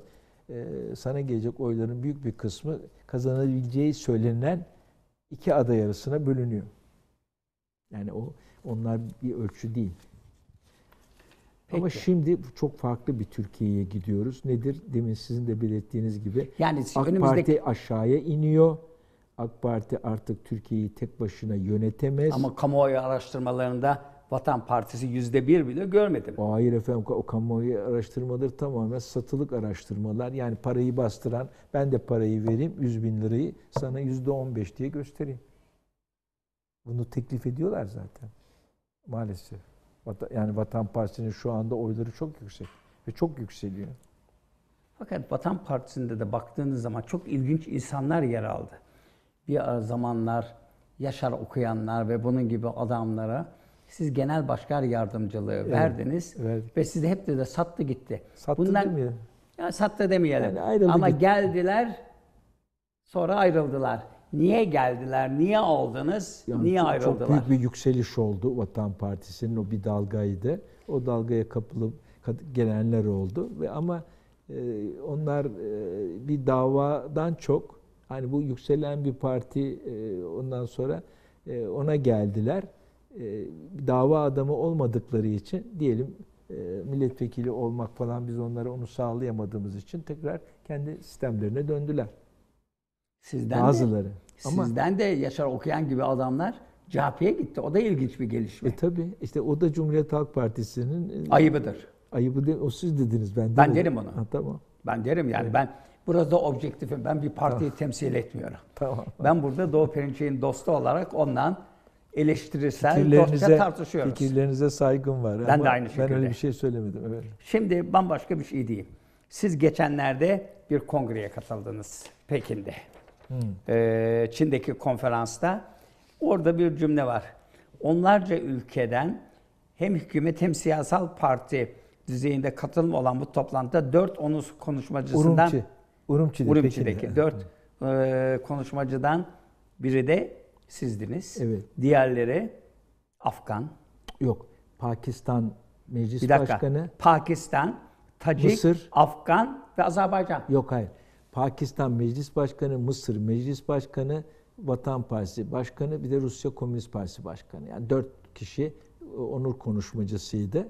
Orada e, 46 ülke. Yalnız burada sizin bir kaynak gösterildiğiniz cümle var. Orada diyorsunuz ki e, birini e, dört onur konuşmasından birini gerçekleştirmek benim için çok önemliydi. Afganlar, Tacikler, Pakistanlılar, Azerbaycanlılar ve Çinliler diye. O zaman bu Hayır. kaynak yanlış. Hayır, ya- ka- yanlış. Şöyle, dört konuşmayı, yani orada 46 parti vardı, 50-60 ülke vardı.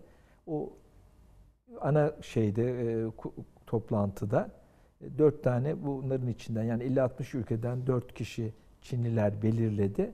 E, Onlardan ikisi devlet temsilcisiydi, iki meclis başkanı. Sudan devlet başkanı da vardı ama o başka bir oturumda konuştu. E, o büyük- Sudan da çok demokrat bir ülkenin Değil. devlet başkanıydı değil Ama mi? Amerika'da vardı orada, İngiltere'de vardı falan. Neyse iki tane devlet yöneticisi getirdiler. Meclis başkanları Pakistan ve şey e, Bangladeş ve şey e, Mısır. İki tane de e, partilerden şey yaptılar. Birinci olarak beni, benden sonra yani dünya partilerinden birinci konumda ben konuştum. İkinci olarak da Rusya Komünist Partisi lideri konuştu. Güzel. Bunda. Şimdi şeye bakalım. Türkiye Doğu Akdeniz'deki, Bunu Karadeniz'deki gösterebilirler. E, o konuşmanın görüntülerinde biz konuşurken orada gösterilebilir.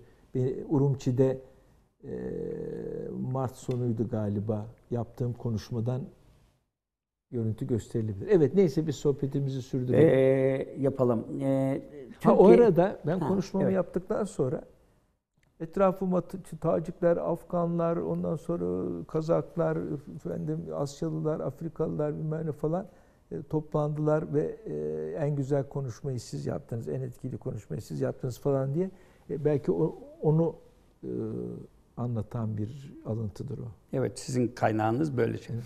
Şimdi Türkiye Doğu Akdeniz'deki, Karadeniz'deki ve Türk akımına yönelik tehditlerin kaynağını iyice fark etmeli. Çin ve Rusya ile birleşmeli diyorsunuz. Birleşmeli, o ittifak yapmalı. Bu, yani ittifak evet. evet. Yani bu bize mevcut e, durumun dayattığı bir tablo. Yani Amerika ve İsrail Doğu Akdeniz'de Türkiye'ye karşı Nabuldina, ondan sonra Nemesis tatbikatları yapıyorlar. Yunanistan ve Güney Kıbrıs'ı da yanlarına alarak. Ondan sonra namlularını Türkiye'ye çevirmişler ve bu tatbikatların açıkça Türkiye'ye karşı olduğunda ilan ediyorlar ve bir askeri ittifaktan da söz ediliyor. Yani Amerika, İsrail, Yunanistan, Güney Kıbrıs. E şimdi Türkiye e, bu Amerika-İsrail tehdidine karşı, çünkü bunlar önemli güçler ve deniz kuvvetleri de ciddi. E, altıncı filoları var, uçak şeyleri var, e, sahip güçleri var.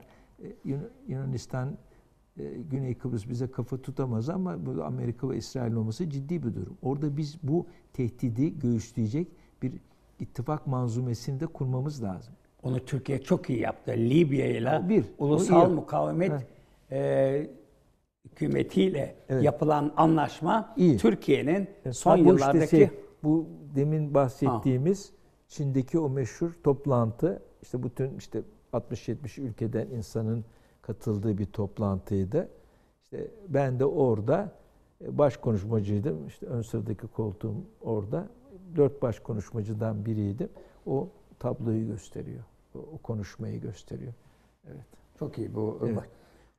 yani Vatan Partisi'nin şu anda uluslararası itibarı çok yüksek. Yani İran'da, ondan sonra Rusya'da, Çin'de, Cezayir'de, Orta Doğu'da, e, Suriye'de, Irak'ta, ondan sonra Almanya'da da şimdi bize ilgi gelişmeye başladı. E, çok yüksek bir uluslararası Almanya itibar. dediğiniz Doğu Perinçek Türkiye-AB ilişkileri konusunda neler düşünüyor? Partisi bundan sonra nasıl bir politika izleyecek? Bakın biz Almanya'yı dost potansiyel dost olarak görüyoruz. Neden? Almanya'da işte Amerika Birleşik Devletleri'ne karşı kendini korumaya çalışıyor ve Amerika'nın ticaret baskılarına e, göğüs geriyor. E, o bakımdan e, Almanya'yı Amerika'ya direnen Batı Avrupa ülkelerinden kimler varsa onları Türkiye'nin müttefik e, potansiyeli içinde görüyoruz. Ama Avrupa Birliği'ne girmek başka bir şey. Avrupa Birliği'ne girdiğimiz zaman hükümetimizi onlara veriyoruz. Yani başkentimiz Brüksel'e e, veyahut da işte şeye taşınmış oluyor.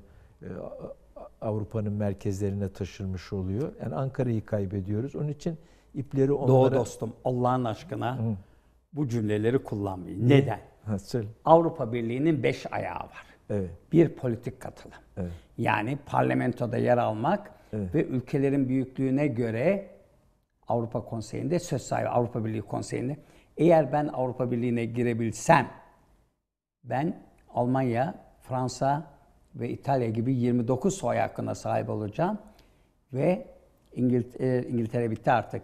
İtalya, Fransa gibi 74 milletvekilim olacak ve Avrupa Birliği'ne politik yön vermede benim payım yüzde dokuz olacak. Bakın onlar... Bir dakika.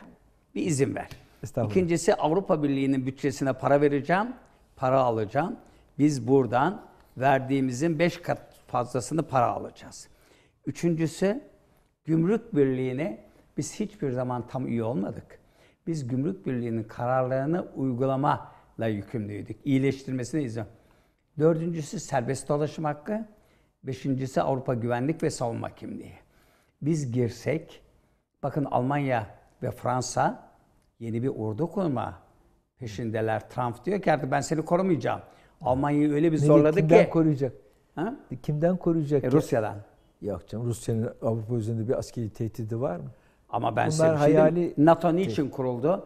Niye Doğu Avrupa ülkeleri hepsi NATO'ya girmek için O birbirlerinden 50, savaşlar? 50'li yıllar yani Hayır, şimdi de. soğuk savaş vardı. Şimdi Şimdi, güvenlik Rusya'nın ve- Rusya'nın Avrupa üzerinde bir askeri tehdidi var mı? E, yapamaz artık. Zaten E, Avrupa o zaman ne bakın De Gaulle çok güzel anlattı. Dedi ki bu NATO denen örgüt dedi bizi savunan bir örgüt değil dedi. Bu dedi bizi kontrol eden Amerika'nın Fransa'yı, e, ondan sonra Norveç'i, Türkiye'yi, şunu bunu kontrol örgütü. Yani NATO e, Av- Avrupa'yı savunmuyor. Avrupa'yı kontrol ediyor. Amerika NATO üzerinden Avrupa'yı kontrol ediyor. Bütün devletlerin içine yerleştirmiş. Şimdi ben size bir şey diyeyim mi? Almanya Trump'ın dayatmaları karşısında 16,5 milyar euro her yıl NATO'ya ödüyor. Zira ben diyor sen bana benden aldığının %80 fazla malını satıyorsun. Sen zenginleşiyorsun. NATO'ya katkıda bulunmuyorsun eee, diyor, e, yapıyor. Amerika yaptırımlarını getirdiği için Almanya Fransa ile ordu konusunda tartıştı. Bu ne zaman yürürlüğe girebilir biliyor musun? Eğer Türkiye'de benim de 324 bin askerim var. Peki Amerika- kime karşı bak ben Avrupa'nın ordu kurmasından yanayım. Onu söyleyeyim. Kursunlar çünkü o onların Amerika'dan bağımsızlaşmasını sağlıyor. Fakat bunu samimi olarak soruyorum. Yani kafanda bir muamma.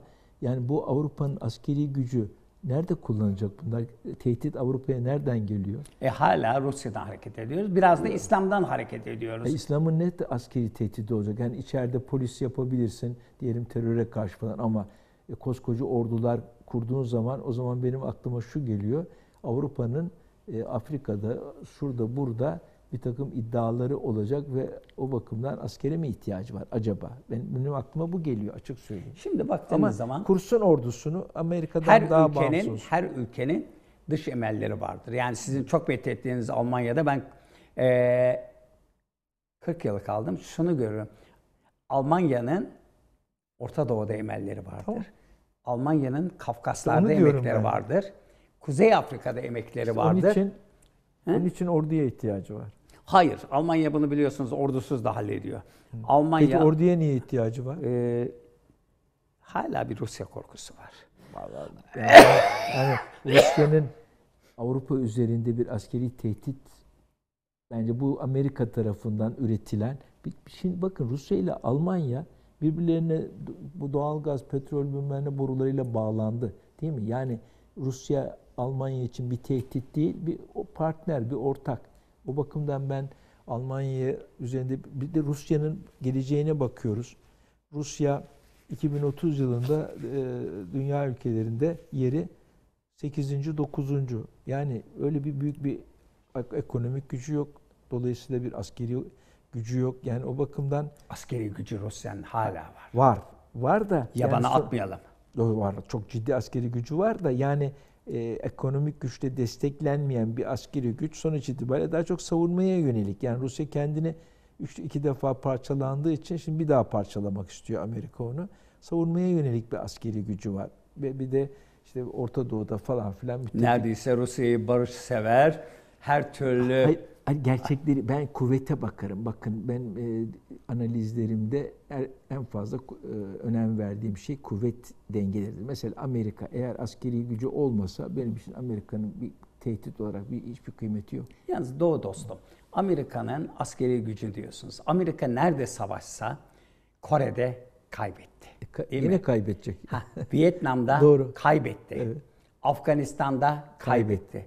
Irak'ta kaybetti. Batı Suriye'de- Asya'da kaybetti. e, e, Suriye'de Irak'ta kaybetti. Ha, nerede? Irak'ta kaybetti. Suriye'de Ha, kaybetti. onları dedim. Belki e, işte Suriye'nin Nerede kazandı? Hiçbir yerde kazanamadı. Ha, Yani onun için Amerika'nın askeri gücünü de fazla abartmamamız lazım. Tabii ben de kanaatteyim. Yani biz Amerika'ya kafa tutabilecek ve O kadar demesem bile yani ben size bir şey diyeyim mi? Amerika'nın hiçbir zaman ben İran'a bile saldırabileceğine inanmıyorum. Belki bir Saldıramadı yapar. zaten. Eğer diş, yani onu gözüne kestirseydi saldırırdı. Bakın e, Amerika'nın İran'a saldırması Amerika için felaket olur. Çünkü öyle İran kolay yutulur bir lokma değil. Çetin Tarihte bir gördük, Tabii, evet. Tabii. Yani bir de e, dağlık falan bir kere kara harekatıyla orayı gidip de işgal Hayır artık kara harekatı En kalmadı. fazla Vuracak gidersin bomba merkezleri. edersin, bombalarsın, bombalarsın, yıkıma uğratırsın ama yine elde ettiğin bir şey yok. Yani sonuç itibariyle e, İran direndi ve başını dik tuttu. Onu görmemiz lazım. Amerika'nın da askeri gücü hakikaten sizin de o tespitlerinize katılıyorum. Öyle korkulacak bir askeri güç değil. Rusya'da da büyük bir askeri güç yok ama hala Avrupa'da bir Rus korkusu var. Hı, Olabilir. Haklı, haksız. Bir korku apayrı bir şey. Doğru Objektif ben bir terim değil, gerçek- subjektiftir korku. Olabilir. Ama ben gerçekçi olarak e, baktığım zaman Rusya'yı işte Almanya'ya askeri tehdit yapacak olan o, o konumda görmüyorum. Yani öyle bir gücü yani askeri gücü olabilir ama sırf askeri güçlü olacak bir şey. Mesela Hitler her tarafa saldırdı ama arkasında muazzam bir ekonomi vardı. Yalnız ben size bir şey diyeyim mi? E, Hitler en büyük hatasını bugünkü Pet- St. Petersburg ve Leningrad'a girip Moskova'ya giderken tarihten Osmanlı'dan e, öğrenmediklerini yapmaya kalktı ve çuvalladı. Al- Rusya, Alman, Almanya'nın da askeri gücüne bakarsanız çok fakir bir ülkeyi aldı, çökmüş bir ülkeyi aldı. Otobanları yaparak silah sanayini geliştirerek yaptı. Fakat Doğu Perinçek'te sohbede doyum olmuyor. Fakat bana teknikten diyorlar ki sen bugün sade sohbetçi değilsin, sohbet etmiyorsun. Ara ver bir 10 dakika bir Tamam. çaylarımızı içelim diyorlar. hay. Sayın Doğu Perinçek 10 dakika sonra tekrar başlamak üzere sizden bir ara veriyoruz. Sağ olun.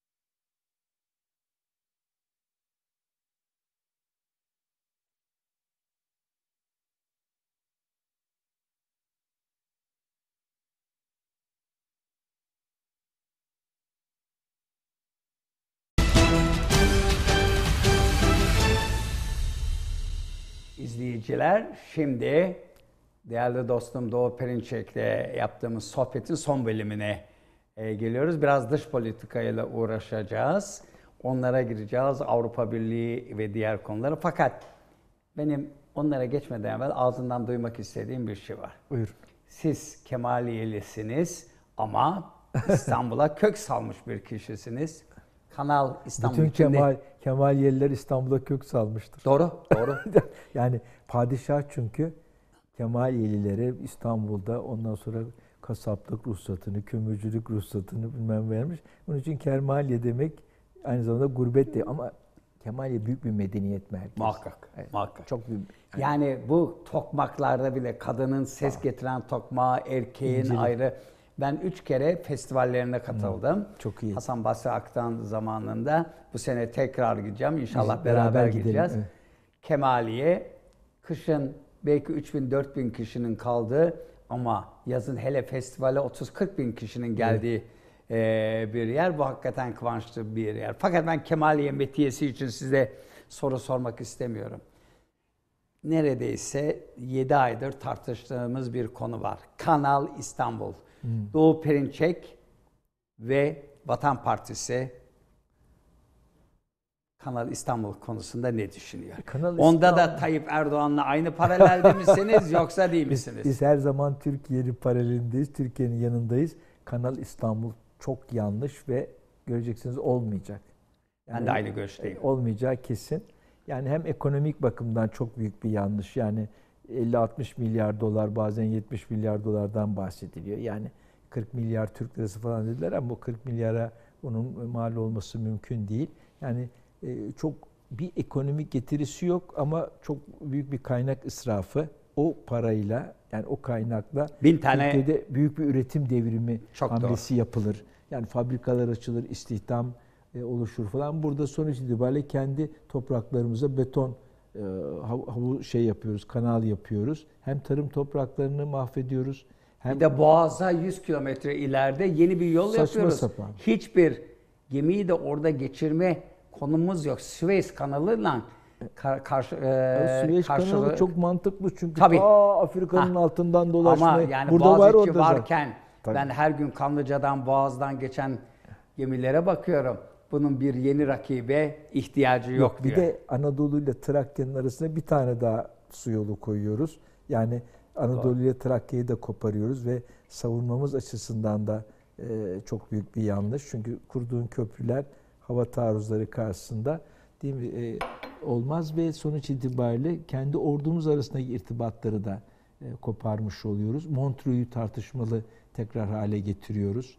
E, o bakımdan da çok büyük bir dış politika hatası ve e, sonuç itibariyle çevreye e, zararları konusunda da okuduğum ka- kaynaklarda çok ciddi itirazlar var.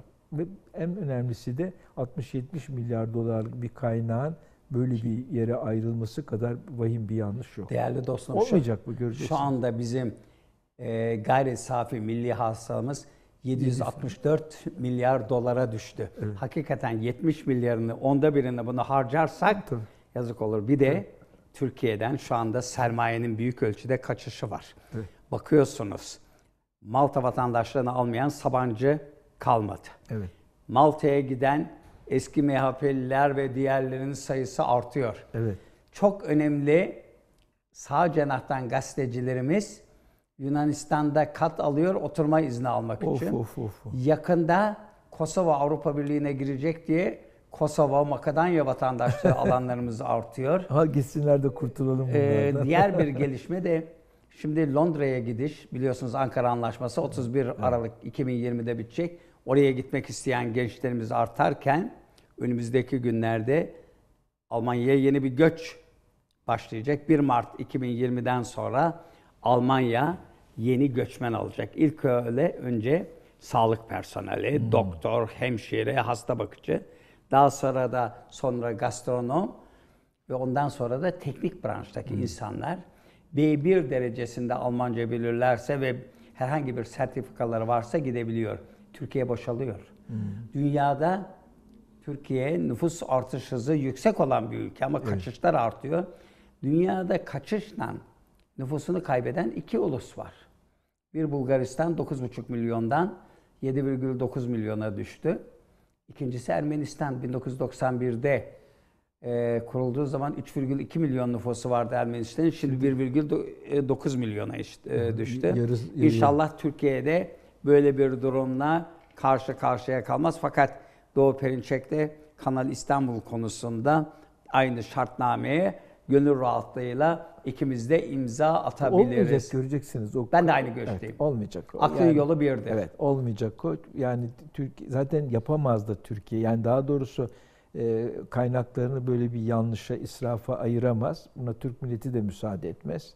Ve O dostum son zamanlarda Coca-Cola fabrikaları haricinde sanayide yeni bir fab- fabrika açılmadı. Tabii. Özellikle biz fabrikalarımızı yakıp onların tazminatlarını alıp yurt dışına kaçıyoruz. Eğer Almanya Türkiye'ye bir oyun oynamazsa Manisa'ya Volkswagen firması geldiği takdirde ki 1,4 milyar euroluk bir yatırım ama o yatırımdan da önemli 900 tane irili ufaklı firma gelecek. Manisa İzmir arasında sanayi gelişecek. Bakın ben iki televizyonun yabancı sermaye bulması konusunda Almanya'da ilişkilere geçtim. Karar almışlar. Diyorlar ki Türkiye'deki şu politik atmosferde biz istenilen paralar da atla devede 2,5-3 milyon e, dolar. Aman şey değil. e, ulusal kanal falan diye bu başka iki Yok şey. 2,5-3 milyon dolara da bir şey yapılmaz aslında yani. Yani o ve- fakat hiç kimse gelmiyor. Bizim Volkswagen'la birlikte gelişlerimiz artar diye düşünüyoruz. Sizle Avrupa Birliği'nde kaldık. Evet. Gelen sorulara da bakıyorum. Ona da konuşuruz. Avrupa Birliği konusunda Brexit'i nasıl buldunuz? Onu siz anlatırsınız. O daha yani şu var e, Avrupa Birliği'nde de çözülme var. İngiltere e, Avrupa Birliği'nden ayrılıyor. Ama İng- İngiltere'nin içinde şimdi e, bölünme başladı. İskoçlar ayrı bir hava Tabii. çekiyor. Hatta e, Büyük Britanya aslında bizim İngiltere dediğimiz olay Büyük Britanya, tabii, tabii. İngiltere var, Galler var. Tabii, tabii. Ondan sonra Kuzey İrlanda var falan. Şimdi e, İrlanda öbür tarafta kaldı. Kuzey İrlanda İngiltere ile birlikte ayrılıyor. E, o da bir muamma yaratıyor. Yani e, Kuzey İrlanda öbür İrlanda'dan ayrıldığı zaman biri Avrupa'da, biri e, efendim Avrupa'nın dışında büyük problemler. İskoçya'da da bağımsızlık eğilimleri e, Artıyor. artmaya başladı. E, ve e, hatta İskoçya'nın e, İngiltere'den ayrı bir devlet olacağı. e, onlar çünkü Avrupa Birliği'nden yana. İngiltere'nin arkasından gitmek istemiyorlar. Yani e, Avrupa Birliği'nden İngiltere ayrıldı ama kendi içinde çok büyük problemler üretti. Doğu. Ben İngiltere'yi yakından takip ediyorum. Esasında Boris Johnson olmasaydı İngiltere bu Brexit kararına çok pişmandı. Zira bakın yıl sonuna kadar bütün sorumluluklarını yerine getirecek fakat bütçeden para alamayacak. O Boris de bizim Ee, damat. Yok damat değil, torun. torun. Bizim Ee, Ali Kemal'in Evet, e, torunu. torunu. Fakat o bir bıçkınlık e, yaparak bunu hızlandırdı. Şu var, İngiltere bundan zararlı çıkıyor. Bir kere finans dünyası kaçacak orada. İngiltere zaten Avrupa Birliği'nin tam üyesi değildi. Özel statüde üyeydi. evet. Bir, para birliğini kabul etmedi. İki, Schengen'e girmedi. evet. Üç, Avrupa Birliği bütçesine verilen para ve alınan paralar 27 ayrı ülke için apayrı kıstastaydı. İngiltere için ayrı kıstas uygulandı. Yani benim hep düşüncem sudur bu. Sizin televizyonunuzda bunu dile getirmek istiyorum. İngiltere dört büyükten biriydi. Şimdi üç büyüğe indi. İngiltere'deki özel statüye yakın bir statüyle Türkiye Avrupa Birliği'nin kapısını çalabilir. Hepimiz bir hata yaptık. Ben Almanya'dayken çok 2002 yılında Merkel yeni iktidara geldiği zaman eee söyleyin Sarkozy ile birlikte Türkiye'ye bir özel statü önerdiler. O zaman hepimiz ayaklandık. Yarım hamilelik olmaz. Ya tam üye olacağız ya da olmayacağız diye. Keşke o zaman bu yarım hamileliği kabul etseydik. Şimdi olayın içinde olabilirdik. Şimdi Türkiye dördüncü büyük ülke olarak yani İngiltere, e, pardon Almanya, Fransa ve İtalya'nın yanında üye olabilir. Bir konuda da şunu dile getirmek istiyorum. İngiltere zaten ikilem içinde de Avrupa Birliği'nden ayrılacak hiçbir ülke yok. Bakın 6 Balkan ülkesi kapıda tokmak ellerinde hızlı hızlı çalıyorlar. Tayyip Erdoğan'ın gittiği Ukrayna artık ikiye bölündü. Doğu Ukrayna Rus bölgesi. Batı Ukrayna Batı Avrupa bölgesi. Yakın bir gelecekte kopma olduktan sonra Batı Ukrayna'yı da bizden evvel Avrupa Birliği'nde görürsek şaşırmayalım. Ben Avrupa Birliği taraftarıyım. Türkiye Avrupa Birliği'ne yakışır ve Avrupa Birliği'ne güç verir. Avrupa Birliği Balkan ülkelerinden filan pek fazla gelişecek ülkeler değil. Bir kere dış politikası tam oluşmadı. Sade ekonomi politikası ee, var. Askeri politikası yok. Bakın bir ara Avrupa Güvenlik ve Savunma Kimliği'nde Gerhard Schröder zamanında bir karar alındı. 60 bin kişilik vurucu bir orada kural, kuralım. Bunun 6 bin askerini de biz veriyorduk. Buna karşılık NATO ya üye ülkeler aynı zamanda AB'ye üye ise bu ordu hakkında söz sahibi olacaktı. Fakat sadece NATO üyesi olup AB'ye olmayanlar söz sahibi olmayacaktı. Bunlardan da biri bizdik. Şimdi güvenlik ve savunma kimliği biraz zayıfladı. Fakat Türkiye AB'ye yakış, e, yakışır. Ve Türkiye'nin özlük haklarında hiçbir şey olmaz. Şimdi okuyucu, e, seyircilerden biri niye Türkiye halkı dedi diye istemedim. Ben her zaman Türk halkı derim. Fakat Türkiye milleti de 47 ayrı etnik dinsel gruptan oluşan bir gruptur. Biz Türk halkıyız. Mustafa Kemal Atatürk'ün bazen Türkiye halkı da denebilir. denebilir. Çünkü iki kavram farklı. İkisi de Doğru. başka anlamları yani. Türkiye halkı dendiği zaman e, Hakkari'den Edirne'ye kadar o co- coğrafyada oturan bütün insanları kapsayan bir kelime, şey kavram. Atatürk de Türkiye e, Cumhuriyeti'ni kuran Türkiye halkına Türk milleti denir diyordu ve Çok Atatürk'te de Türkiye halk kavramı var. Şimdi böyle kısırlaştıramaz, daraltamayız, kavramları azaltamayız. Türk halkı e, daha çok e, bir e, halkın Türk etnik kökenine vurgudur. Türkiye halkı ise bütün burada yaşayan nüfusu kucaklar. Her ikisine de siyasi dilde ve e, coğrafi dilde ihtiyaç var. Onun Çok için doğru. Böyle bu tür taassuplar, yobazlıklara şiddetle İzin karşıyım. vermememiz lazım. Yani bunlar çok Ben- önemli. çünkü fakirleştiremeyiz yani. Dilimizi dilimizi- fakirleştiremeyiz. Evet, evet. Türkiye halkı, Türk halkı bizim favorimiz. Bazen Fakat o- biz bazen ümmet olmak istemiyoruz. Olamayız zaten. Olmayız. Ümmet Geçti o arkada kaldı. O, o- oraya dönülmez. Yani o İslam Ama eğer İdlib'den ayrılan 1 milyon kişiyi biz kazara içeri bırakırsak ülkemizdeki Suriyeli geçici göçmenler 6,5 milyonu geçecek. Artık onlar misafir değil, tam kalıcı olacak. Belki Türkiye'den kaçanların sayısı artacak diye düşünüyorum. Fakat dış politikaya tam girmeden bir konuda ben Doğu Perinçek'i çok övmek istiyorum. estağfurullah. Yok bu hak ettiğiniz.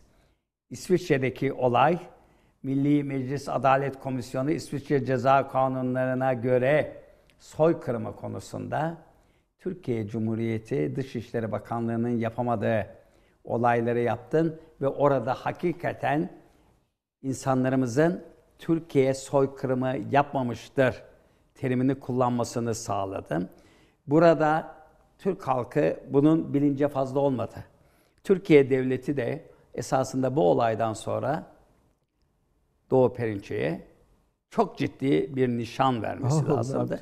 Yok ama bunu hakikat e, katen öneriyorum. Maalesef bunu atladık. Bu bir ayıptır fakat aradan geçen zaman çok uzun değil. Takriben e, 4 yıla yaklaşıyoruz ama hala verilebilir. Doğu Perinçek'i bu konuda takdir etmek lazım. Nişanı verip beni bir sepetlemeye çalışıyorsunuz galiba. Hayır, Bu neden nişanı nişan? verelim. Hayır. Sepetlemeye çalışırsam bu konuda ben dış politikada başka yerlere gitmek istiyorum. Şimdi, Şimdi bu Anka şu Avrupa Birliği konusunda ben de tabii buyurun. önce şunu söyleyeyim. Bir aydınlık bunu bir müjde verelim e, izleyicilerimize.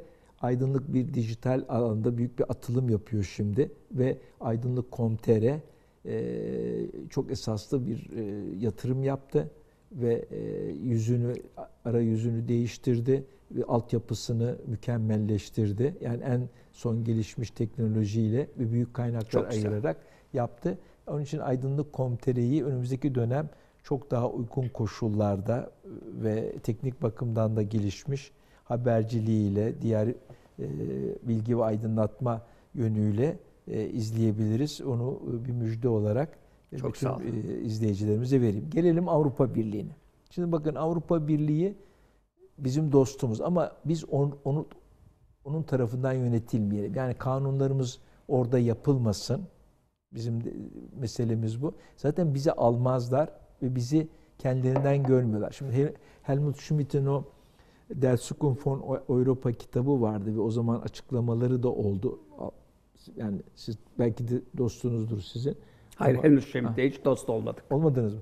Ondan sonra o Schmidt o zaman şunu söyledi. Dedi ki bakın dedi biz dedi bir dedi zenginler kulübüyüz dedi. Yani Avrupa Birliği bir zenginler kulübüdür dedi. E, Türkiye'nin o kulüpte olması mümkün değil. İki dedi biz Hristiyan kulübüyüz. Gene Türkiye bir. Yani aramızda kaz var, ördek var oluyor e, gibisine bir açıklama yaptı Türkiye için. Yani Avrupa Birliği bizi kendilerinden görmüyor. Hem ekonomik e, düzeyimiz ve geldiğimiz yer açısından hem de onların o 12 tane yıldız var havariler yani Hristiyanlığı si- simgeliyorlar. Yani Hristiyan kulübü olarak da zenginler kulübü olarak da bizi kendilerinden görmüyorlar ama o zaman hiç unutmuyorum Land Land'ın bir Frankfurter Allgemeine Zeitung'da e, Landsberger galiba şimdi ismini yanlış hatırlayabilirim. Bir e, yazı çıktı ve orada dedi ki Amerika bize bastırıyor. Gelin şu Türkiye'yi Avrupa kapısına bağlayalım. Orada ondan sonra ne kaçabilsin ne içeri alalım. Aday üye yapalım.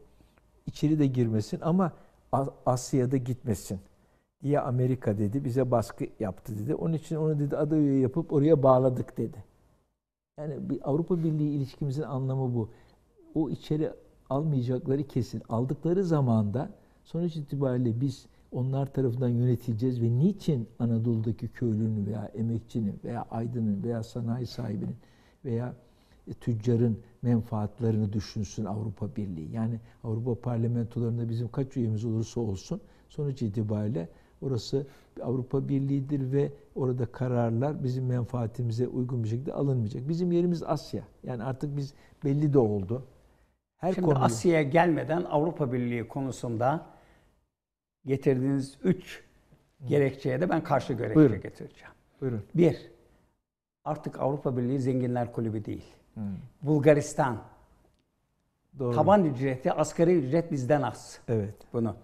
Romanya asgari ücret bizden az. Macaristan bizim kadar. Yani artık zenginlikler göreceli oldu. Hele Balkanlardaki yeni altı ülke girdikten sonra Batı Ukrayna'yı da katarsak zenginler kulübü değil. Hristiyan kulübü artık hiç değil. Bir, 11 milyon Yunan var. Yunanlar Greeks Ortodoks.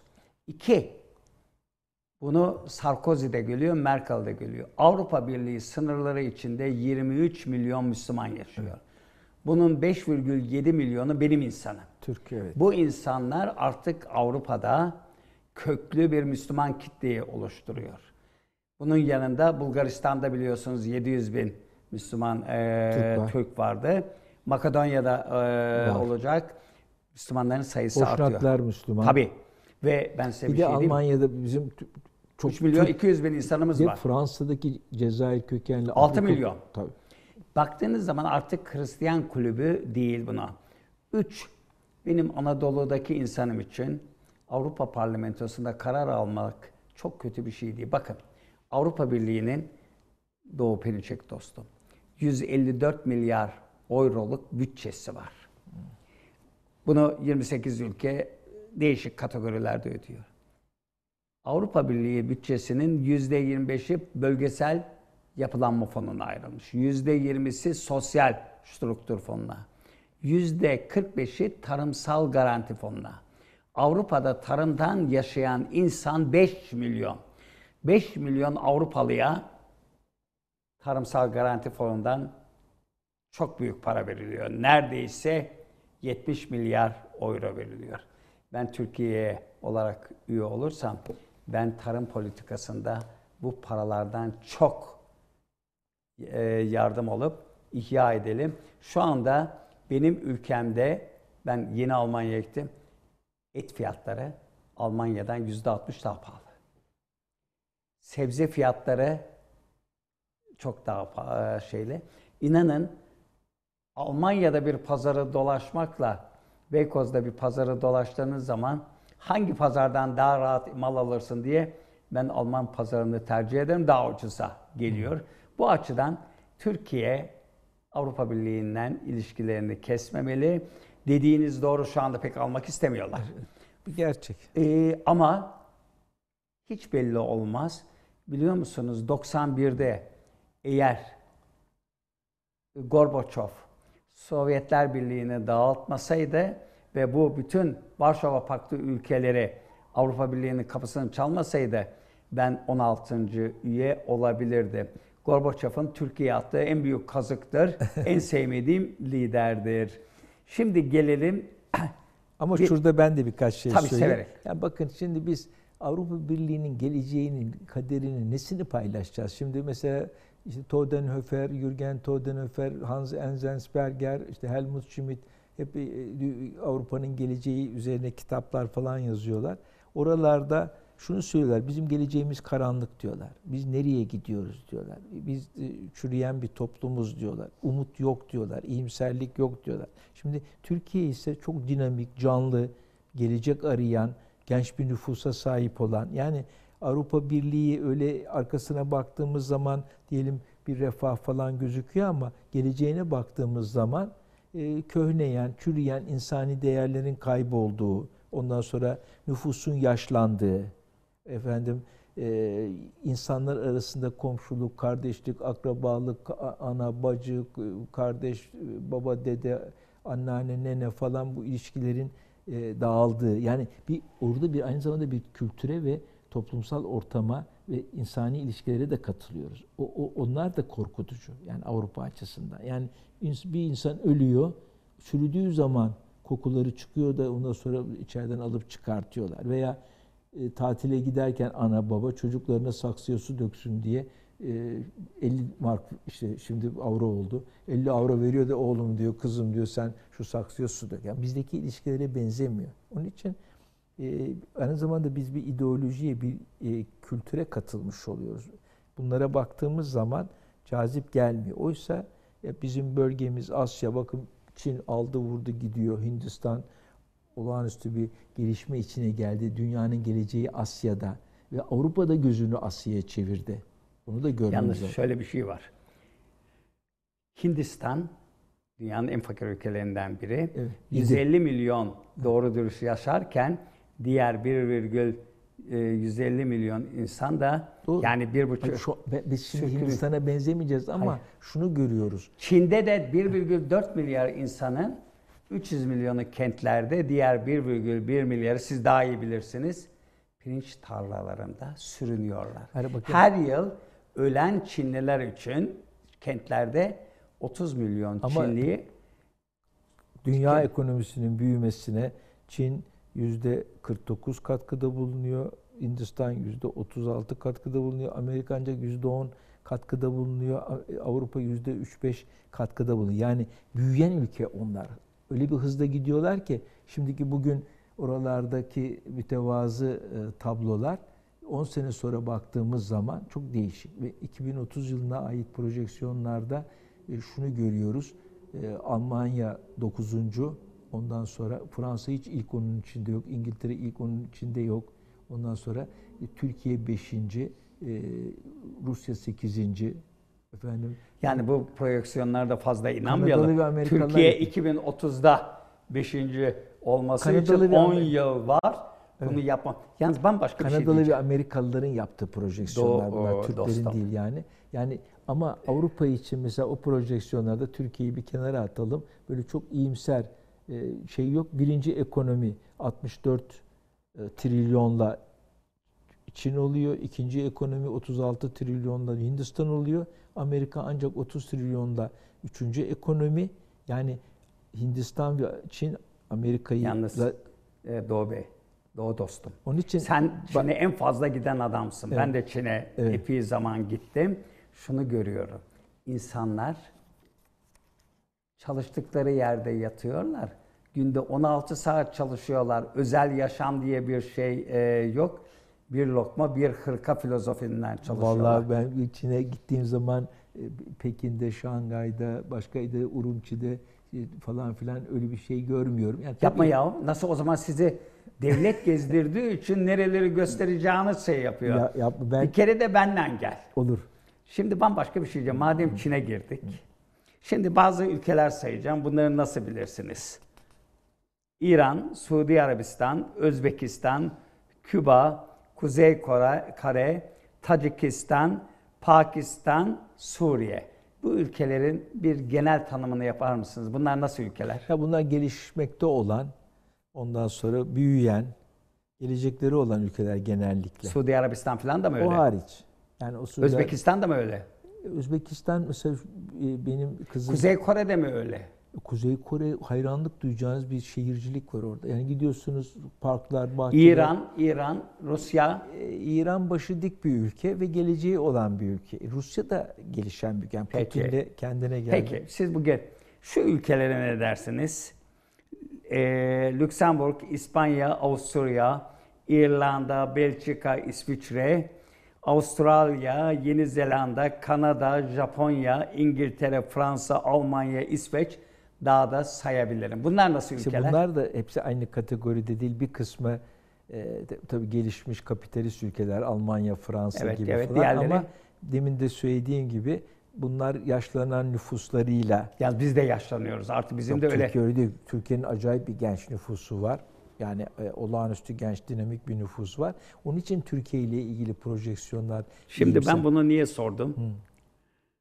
Doğu Türkistan'da Uygur Türklerine yapılan baskı rejimini Avrupa ve Amerika şeyde Avustralya, Yeni Zelanda, Kanada gibi ülkeler Kınıyor. bir kınama metni yazıyorlar. Öbürleri- Maalesef bunların içinde bir tane Müslüman ülke yok. Doğru. Çünkü bir de- Müslümanlar Uygurların dostu. Onların yani e, orada onların bir zulüm altında olmadığını biliyorlar. Yapma orada, ya. Orada yobazlığın bakın siz bir yandan Türkiye'de Peki bu diğer ülkeler Suudi Arabistan, Özbekistan falan bunlar demokratik ülkeler Değil, ve Suudi Arabistan kınıyordur. Suudi Arabistan e, oradaki teröristlerin hamisi. Yani bakın e, o şeyi e, Doğu Türkistan İslam Partisi'nin e, bütün mali kaynakları desteği Suudi Arabistan'dan. Zaten bunlar El-Kaide bilmem el, e, on, o şeylerin örgütlerin içinde, HTŞ'nin içinde olan örgütler. Suudi Arabistan onları destekliyor. Doğu Türkistan İslami Partisi'ni. Ama diğer işte Özbek bir kere Türk Cumhuriyetleri işte onlar da Türk. İşte Özbekistan, Kazakistan, Kırgızistan, Türkmenistan, Azerbaycan bunlar orada bir zulüm, Çin'i kınayan bir tavır içinde değiller. Ve ak- aklı demek Almanya falan e, şey yapıyor. onlar tabii emperyalist e, Çin Çin'e karşı Amerika ile birlikte Çin'i Yahu bölme- yapma. Ha, Çin'le en iyi ilişkisi olan ülkeler Almanya, Fransa. Niye emperyalist olarak Çin? Yanlış. Yani şunu bir diyeceğim. yandan ha. Uygur Türklerine orada bir mezalim yapılıyor mu, yapılmıyor mu? E bakın ben şimdi bunu soracağını bildiğim için getirdim. Bu ne divanı Lugati Türk. Onu Çince basmışlar. Ha, Çince değil, Uygurca da. Bakın. Yalnız ben size bir şey diyeyim Bakın, mi? eski Bunu bundan böyle örneklerle Uygur'da 5 milyon Türk'ün Uygur Türk'ünün toplama kamplarında olması. Hayır, bu bak bunların hepsi uydurma. Öyle bir şey yok. Atatürk döneminde köy enstitüleri neyse. Ama aman yapma. Hayır, hayır, hiç Aman. farkı yok. Bakın bunu iyi Köy enstitülerinden toplama Köy enstitü- kamplarında ölenlerin Bakın köy siz, enst- Ha? siz yani Batı'nın e, propaganda ettiği imajları burada e, dillendiriyoruz. Kesinlikle yani bunlar e, Çince öğreten, teknik bilgi veren, ondan sonra meslek, ailelere meslek Çin ders- erkeğini getirip onlara Onlar büyük yalanlar. Bakın hiçbir aile Çin erkeğini bilmem neyle o da- Getir. Bunlar büyük yalan. Burada ne var? Ee, orada şeyler oldu. Ee, bir takım hadiseler oldu. 2000 e, kaç yılda 12 yılı mıydı ne karşılıklı kavgalar ve ölenler oldu. Yani ve ölenlerin de y- 90 tanesi Han Çinlisiydi. 10, 10 küsuru Uygurdu. Yani ve e, Çin hükümeti aileler arasında ziyaretleri teşvik etti. Birbirinize görün, düşmanlık olmasın, komşuluk Şimdi yapın. değerli dostum ben Bakın Çin'e iki kere gittim. Hem ben 5 kere 13 kere Çin'e gittim, 5 kere de Uygur bölgesine gittim. Uygur bölgesinde sen Urumçi'de 5 yıldızlı otellerde kalıp Yok, hayır hayır. şimdi Ben e, bakın ben her gittiğimde şimdi gözde görülen şeyler var. Mesela 1977'de gittim. E, 77'de gördüğüm bir şey var. Ondan sonra e, gördüğüm Uygur bölgesi var. Yani görüyorsunuz.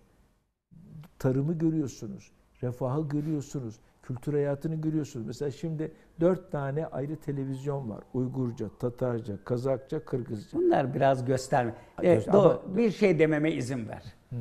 Ben 1991 yılında Almanya'da Orta Asya Türk Cumhuriyetleri özgürlüğüne kavuştuğu zaman bir araştırma yapmıştım. O zaman başkent daha Bonn'du. Bunun neticesini Alman Bilim Bakanı müsteşarıyla kamuoyuna açıkladık. Büyük yankı vardı. 60 e, üzerinde gazeteci vardı. Sonunda ben bir cümle kullandım ama çok bilinçli değil. Dedim tüm Orta Asya Türk Cumhuriyetleri özgürlüğüne kavuştu. İnşallah bir gün Uygur Türkleri de kavuşur dedim. Çin basın ateşesi kalktı bana çok serzenişte bulundu. Dedi yarın size gelmek istiyorum dedi. Geldi. Battaniye. Bir dakika geldi. Siz dedi muhakkak dedi ben Çin'e davet ediyorum. Aa dedim severek gelirim. E, dedim herhalde beni Urumçi, Kaşgar, yo yo yo dedi. Biz sizi dedi Şankay ve Pekin'e götür. Kusura bakmayın dedim orası turistik yerler. Ben oraya turist olarak giderim e, dedim. Ve bir yıl sonra da Volkan Vural Amerika'da New York'ta daimi temsilcimizdi ve Almanların daimi temsilcisi de Lindner'de. Biz Türkiye Araştırmalar Merkezi Alman eee kurumuyduk. Beni Birleşmiş Milletler Ekonomik ve Sosyal Konseyi'ye üye olmam için önerdiler. Ben de üyelik için bütün gerekçelerini yerine getirdim. Bir yıl ama ayakkabımızın büyüklüğüne kadar soruyorlardı. Bir yıl sonra Alman Büyükelçisi Lindner bana telefon etti. Ya dedi, çok samimi. Faruk dedi. Ruslar Yeltsin zamanında bütün Alman NGO'ları girmesin diye tepki gösterirler. Bunu dedi Volkan Vural Ruslarla halletsin senin Türk olduğunu, nasıl olduğunu falan. Ben de dedi Çinlileri anlamadım. Ben de onlar üzerinde oynayacağım dedi. Meğer o cümle benim şerh olarak düşmüş. Ve sonra da ikisi de halletti ve biz girdik. Ama şimdi bakın. cümlemi onu değil- bitirmeme izin ver. Estağfurullah ederim. He. Eşim İncişen, biz çok uzak doğuya gideriz. Çin'e gitmeye karar verdik. İnce 21 ülkeye, 21 bölgeye uçakla gideceğiz, göreceğiz. Vize için Çin'e müracaat ettik. Çin Büyükelçiliği Berlin'de Büyükelçi müsteşarı bana telefon etti. Herşen dedi. Çin'e gideceğinize çok sevindik. Türkiye Araştırma Merkezi önemsenen bir kurumda. Bir gelin de dedi. Konuşalım sizden. Vallahi dedim benim Essen'den size gelmem bayağı masraflıyız. Ancak Çin mutfağına davet ederseniz geliriz dedim. Gittim. Adam konuşurken dedi Urumçu, Kaşgar ve Turfan'da yazmışsınız. Biz dedi orada size koruyucu ve tercüman verelim dedi. Aman dedim koruyucu bırakın ama dedim eğer tercüman verecekseniz bütün Çin'de verin. Zira Çin'de Almanca, İngilizce hiç geçmiyor. Çince. Dedim hiç olmazsa masraftan kurtulur. Zira ince her yer için tercüman bu. Yok dedi orada hallederseniz dedi turistik yerlerde. Biz Urumçi'ye gittik. Fakat Şankay'daki Türk başkonsolosu dedi ki orada sizi çok takip ederler. Reşat Bey de, Raşit Bey de bizim Çin Büyükelçimizdi. Faruk Bey dedi aman dedi gittikten sonra raporunuzu yazın bize oraya gitmemize izin vermiyorlar dedi Büyükelçiye. Ben de gittim uçaktan beni indim ayrılan otele gitti. Otelin altında hiç ben hayatta yapmam. Dedim ki eşime sen biraz dur burada. Ben yukarı çıkayım bir odalara bakayım dedim. Temiz. Faruk dedi saçmalama dedi. Beş yıldızlı otel her ülkede aynıdır. Temizdir. Sen ne zaman böyle bir şeye dikkat ediyorsun dedi. Ben yukarı çıktım ve iki tane Çinli polis. Ne var burada dedim. İngilizce. Çinliler şey Türko, Türko dedi. Bizim, ben hemen oradan bavullarımı aldım. O bize önerilen bir tercüman vardı. Onu arayarak yeni bir otele gittik ve dört gün bizi onlar gezdirdi. Çin Gizli Emniyeti bize ancak dördüncü günü tespit edebildi. Bütün görüşmelerimizi yaptı. O zaman çok ilginç bir ekonomik ambargo vardı. Çin'de Uygur Türklerine sadece 400 çeşit üzüm yetiştirmeye mahkum etmişler. Kobi Vallahi kredilerinden ben gittim o mesela Golden Wind diye e, şey var bu rüzgar şeyleri yapan enerjisi bilmem nesi yapan bilmem 100 tonluk şeyler. bir iki tane o zaman Şimdi fabrikalara gittim. Bakın Urumçi Uygur bölgesi Çin'in bana bak hızlı sizinkiler propagandaya başladılar. başlamışlar. Çi- Çin'in en hızlı gelişen sanayisi orada. Bakın fabrikalar orada ve köyleri Sen gidiyorsun. Kaskara ve şeye gittin mi? Urumçi, Ka- Kaşgar ve Ben Turfan'a. Turfan'a gittim. Mesela Turfan'da köylere gittim. Villa villalarda kalıyorlar. Türkler Ben size bambaşka bir şey diyeyim. villalarda Kobi ya. kredilerinden Çinlileri getirip orada egoma- poli- e, ekonomik egemenliğe kavuşturuyorlar. Türkleri de üzüm yerleşmeye. Üzüm- Bambaşka bir şeye Bakın gideyim. ben fabrikaları gittim gördüm. Mesela Golden Wind. Bu Türkiye'de de e, şey satıyorlar. O rüzgar enerjisi tür şeyleri Birkaç satıyorlar. tane belki gelmiştir. Hayır. Ya size özellikle göster. Uza- Bambaşka bir şey diyeceğim. en hızlı gelişen bölgesi o bölge. Rakamlarla. Yani Kaç- evet. de görüyorsunuz. Toplama kamplarına bizimkileri sokuyorlar. O doğru değil. Şimdi Doğucuğum, başkan doğru. bambaşka bir şey diyeceğim. Onlar hepsi hikaye. Evet. Çok hiç doğru Ce- değil. e, şimdi Doğu Perinçek beni davet ettiğine pişman oldu. Şimdiye Yok, kadar pişman iyi olur mu? Şimdi Hayır, hayır, apayrı hayır, bir şey diyeceğim. Çok memnun oldum. Camilere gittim ben. Hiçbir Uygur Türk'ü imam olarak orada çalışamıyor. Suudi Arabistan'dan Vahabileri getirmişler. İşte o da kötü değil mi? Ha? Rezalet değil mi? Ha. Ama kim getiriyor onu? E, Oradaki bir... Bakın, Vah, ya kendi adamı orada imam olacakken kalkıp Suudi Arabistan en son bu Mart ayında gittiğimizde e, camileri ziyaret ettik. Bir kere yüzlerce insan camide ibadet ediyor. Onların da fotoğrafları vardır. İkincisi imam Türktü. Yani bizim gittiğimiz Turfan'da da ben camilere gittim. O tarihten kalan imamlar Türk. Yani Ben Su- hep- Suudi Arabistan'dan kim getiriyor biliyor musunuz? İşte o Doğu Türkistan bilmem ne örgütleri var ya. O tamamen Ya e, el- kendi adamı varken Vahabi'yi getirir mi? O- Bu bakın, taktiği nereden almışlar biliyor musun? Çin'in Batı Trakya Türkleri de biliyorsunuz İskeçe ve Çin Gümülcine'deki ister mi? seçilmiş müftüler, Türklerin seçtiği müftülere müftülük ünvanı Çin verilmez. ister mi teröristleri? İskeçe ve eee Gümülcine müftülere Suudi Arap Vahabi Bakın getirilmişti. Çin ister mi oradaki Türkler e, yobazlaştırılsın ve teröristlerin Hayır. şey o bakın olur mu? Dinden soğutmak Ay, so- soğur mu? O hepsini yobaz yapıyor. O, yani olur mu öyle şey? Bakın Çin'in en büyük hatası orada Latin alfabesi vardı 1970'de gittiğimiz zaman. Sonra e, Arap alfabesi. Arap alfabesine geçtiler. İşte en büyük hatası bu. Ama onu da bizim Uygurlar istedi. Çok büyük hata. Ben bunu hiçbir yerde okum. Ben buraya gelmeden Uygur, Çok Türk büyük hata. derinin buradaki temsilcilerinden görüştüm. Hepsi Arap, bakın hepsi yobaz, hepsi e, şeyi... Ya 20 milyon Uygur Türk'ün hepsi mi yobaz? bakın Türk burada Hepsi mi terörist? Hepsi değil. Lütfen rica ederim. Terörist onlar bizim e, halkımız. Yani e, hepsi dediğim o Doğu Türkistan e, Partisi'nin bütün militanları vesaire e, terör örgütleriyle ilişkili bunlar. Türkiye'de de e, bayağı örgütlüler bunlar ve bunlar Çin'e terörist bunlar açık açık yazılıyor. Deniyor ki şimdi orada Batı Asya'da Suriye ve Irak'ın kuzeyindeki o IŞİD'deki şey Uygurların falan orada işi bitti. Şimdi onları Çin'e gönderiyoruz diye açık. Bakın 30 bin IŞİD'in içinde 30 bin Uygur kökenli var. 30 bin. 30 bin hepsi mi Uygur Türk'üymüş? Yani IŞİD'in 30 bin değil, yüz binlerce adamı var da içinde 30 bin, 30 bini Uygur. Bunlar bizim Mehmetçiğe kurşun sıktı. Bizim e, Fırat Kalkanı Harekatı sırasında IŞİD E, Bunları hangi... Ben size bambaşka bir Yani rapor. bunlar Çin'in Geçenlerde Helsinki Watch ki ciddi Çin'in alınan bir düşmanı, kurumdur. Türkiye'nin de düşmanı. Yani o o yani o teröristler yani o e, IŞİD içerisinde örgütlenmiş olan Uygur kökenli teröristler Türkiye'nin de düşmanı, Çin'in de düşmanı ve Biz Türkiye'de PKK terörüne karşıyız. Çin'de de IŞİD teröründen yana olamayız. Yalnız ben size bir şey diyeyim mi? 5 milyon kişi toplama kamplarında Yok, bunlar ve doğru. bunu kalkıp köy enstitülerinden bir araya bakın, getirmek. o Mustafa kampa- Kemal Atatürk kalkar mezarından Ay- seni de döver, Bakın, beni de döver. ay- bakın Atatürk için de aynı şeyler söyleniyor. Şöyle mezalim, böyle mezalim diye.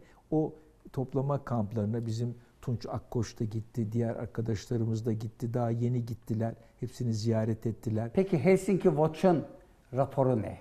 BBC'nin raporu E, ne? onlar Demin emperyalist Frankfurter merkezleri- Allgemeine E, Zeitung'un onların, onların hepsi mi emperyalist? Onların Türkiye hakkındaki raporları ne? Onlar Türkiye işte Kürtleri şöyle kesiyor, böyle öldürüyor. Hayır. Böyle. E, tabii. Helsinki Watch hayatta böyle bir şey yazmadı Türkiye için. Şimdi bakın- Frankfurter bak Allgemeine'de işte yazmadı. İşte bakın alın. İşte camide namaz kılıyor. Hepsi bunların Uygur. İşte buyurun. Can cami yok demedim. Ha. Yönetenler Suudi Arap Hayır. Vahabi. O, o Şimdi ben öyle bir şey görmedim ama onu yapıyorlarsa işte biz de burada oturan bizleriz işte bakın. İşte bu cami. Şöyle. Bakın şu Türk. İşte Müslü şey imam bu. Kafasında şey kalpak olan şu Türk. E, Görüyor- sizin yanınızda da herhalde Çin hükümeti resmi Ama davetlinin yani yanına. Çinli Suudi Arabistanlıyı getirir mi? O Çin'in aleyhine Çinli orada yobazlıkla mücadele ediyor. İster mi Vahabiler? Seni göremiyorum doğu- bu resimde. Şule var ve ben de varımdır buralarda yani beraber gittik işte bu caminin imamı şu gördüğün e, şey- şeyli insan kalpaklı insan caminin imamı. Ondan sonra Türk görüyorsun çekik gözlü Uygur Türk'ü. Yalnız Uygur Türkleri konusunda Yani Türkiye Çin'i kızdırmamak için çok çekingen. Zira bizi biliyorsunuz siz de buna yetkilisiniz. 5 milyar dolar Türkiye'ye para geldi. Yatırımlara 5 dönüştürülüyor. milyar bir şey değil. 400 400 500 gel- gelir yani e, Türkiye'ye Çin'den ellerinde 4 trilyon dolarlık muazzam bir rezerv var. Türkiye için 5 Bakın, milyar. Bu da e, Tunç Akkoç gitti oralara. Yani bir kere sanayi muazzam gelişiyor. Köyler muazzam gelişiyor. Refah, keçi otlatan bir halktan modern, ondan sonra eğitim görmüş. E, biz hem Şehir Türkiye'de merkezindeki kişiler. Ya onu bırak. köylere gittim. Bir bakın. milyar, Alın bakın bir çocuk- işte milyon. çocuklar bakın. Şunlar hepsi Uygur. Bakın hepsi suratlarına bakın. Yani ben Hepsi- size bir şey diyeyim mi? Bu fotoğraflar biraz şova kaçan Yapma fotoğraflar. abi. Gidiyorsun şu fotoğrafın şunun şovu olur mu? Köye gidiyorsun. Bizim için villalardan oluşan köyler yapmıyorlar. Gidiyorsun. Bütün villalarda oturuyorlar. Hepsi. Yani e, bir de refahı görüyorsun. Parklar, bahçeler, kütüphaneler, eğitim, televizyonlar. Ondan sonra Peki bu toplama kamplarında Toplama ölenler, kampı yok. anne babalarından ayrılan çocuklar, yan çocuk e, aileden oraya alınan şeyde, uzak. bakın geçen gün e, Xi Jinping konuştu. Dedi Kim? ki benim Ha. Xi Jinping Evet. Benim dedi hayatımdaki en mutlu günlerim dedi. Gittim dedi. Bir sene işte mağaralarda bilmem ne Çin köylülerin arasında e, eğitim gördüm dedi. O dedi benim hayatımda en çok öğrendiğim şeydir dedi. Yani e, liderler de oraya gidiyor, bürokratlar da oraya gidiyor. Mao'nun zamanında da onlar vardı. Yani sırf Uygurlara ait şeyler değil onlar. Çinlilerin kendileri de Peki Helsinki Watch Hı. İnsan Hakları Örgütü sizin için nasıl bir örgüttür? Emperyalist bir örgüt müdür? Emperyalist. Yapma ya. Tabii ya, onların Kürt meselesinde, diğer meselelerde Türkiye, Helsinki Watch'un Bakın Türkiye'deki Kürt konusunda bir Murat raporu Belke. yoktur. Bakın Helsinki Watch'un biz ta 1980'ler 90'lardan beri Türkiye'ye yönelik tavrını biliyoruz. O Amnesty International'dır. Yo yo yo. Helsinki Watch'un Helsinki Watch da öyle. Bakın Türkiye temsilcisi Murat Belge'ydi değil mi? Helsinki Watch'un çok iyi hatırlıyorum. Ve Türkiye'ye bakış açıları son derece tepeden, bölücü. yapma ya. E tabi Helsinki Watch bölücü. Çok açık bölücü. Yani Türkiye Yalnız biz de işimize gelmeyen tüm örgütlere bölücü Hayır, demeyelim, ayıp olmasın. Ama niçin işimize gelmiyor? Bölücü olduğu için. Yoksa Türkiye'nin dostu olsa benim niye içime gelmesin? Rusya bizim tam dostumuz, Çin bizim dostumuz. Evet. Rusya PKK'yı destekliyor. Yo yo yo yo. Onlar hiç doğru değil. Yani bakın Rusya ile Türkiye arasında bir kader birliği oluştu. Peki İdlib'deki bu son bombalama olayı kader birliğinden dolayı mı? Ben 8 askerimi kaybettim orada. Ya o- Onlar bizim şehitlerimiz ama ondan evvel de Rusların da dört tane subayı öldürüldü. Ha, o da karşılık vermiş bize. 8 kişi. E o zaman bunu dikkat edelim ve provokasyona gelmeyelim. Bakın bu süreci 4 Rus subayı öldürüyor. Arkasından 8 askerimiz şehit ediliyor. Evet. To- Sonra Türkiye 76 Suriyeli Değerli öldürdü. dostum, Doğu Perinçek dostum sizin de sohbete doyum Oo, olmaz. Ama edeceğiz. teknik elemanlar diyor ki artık yeter diyor.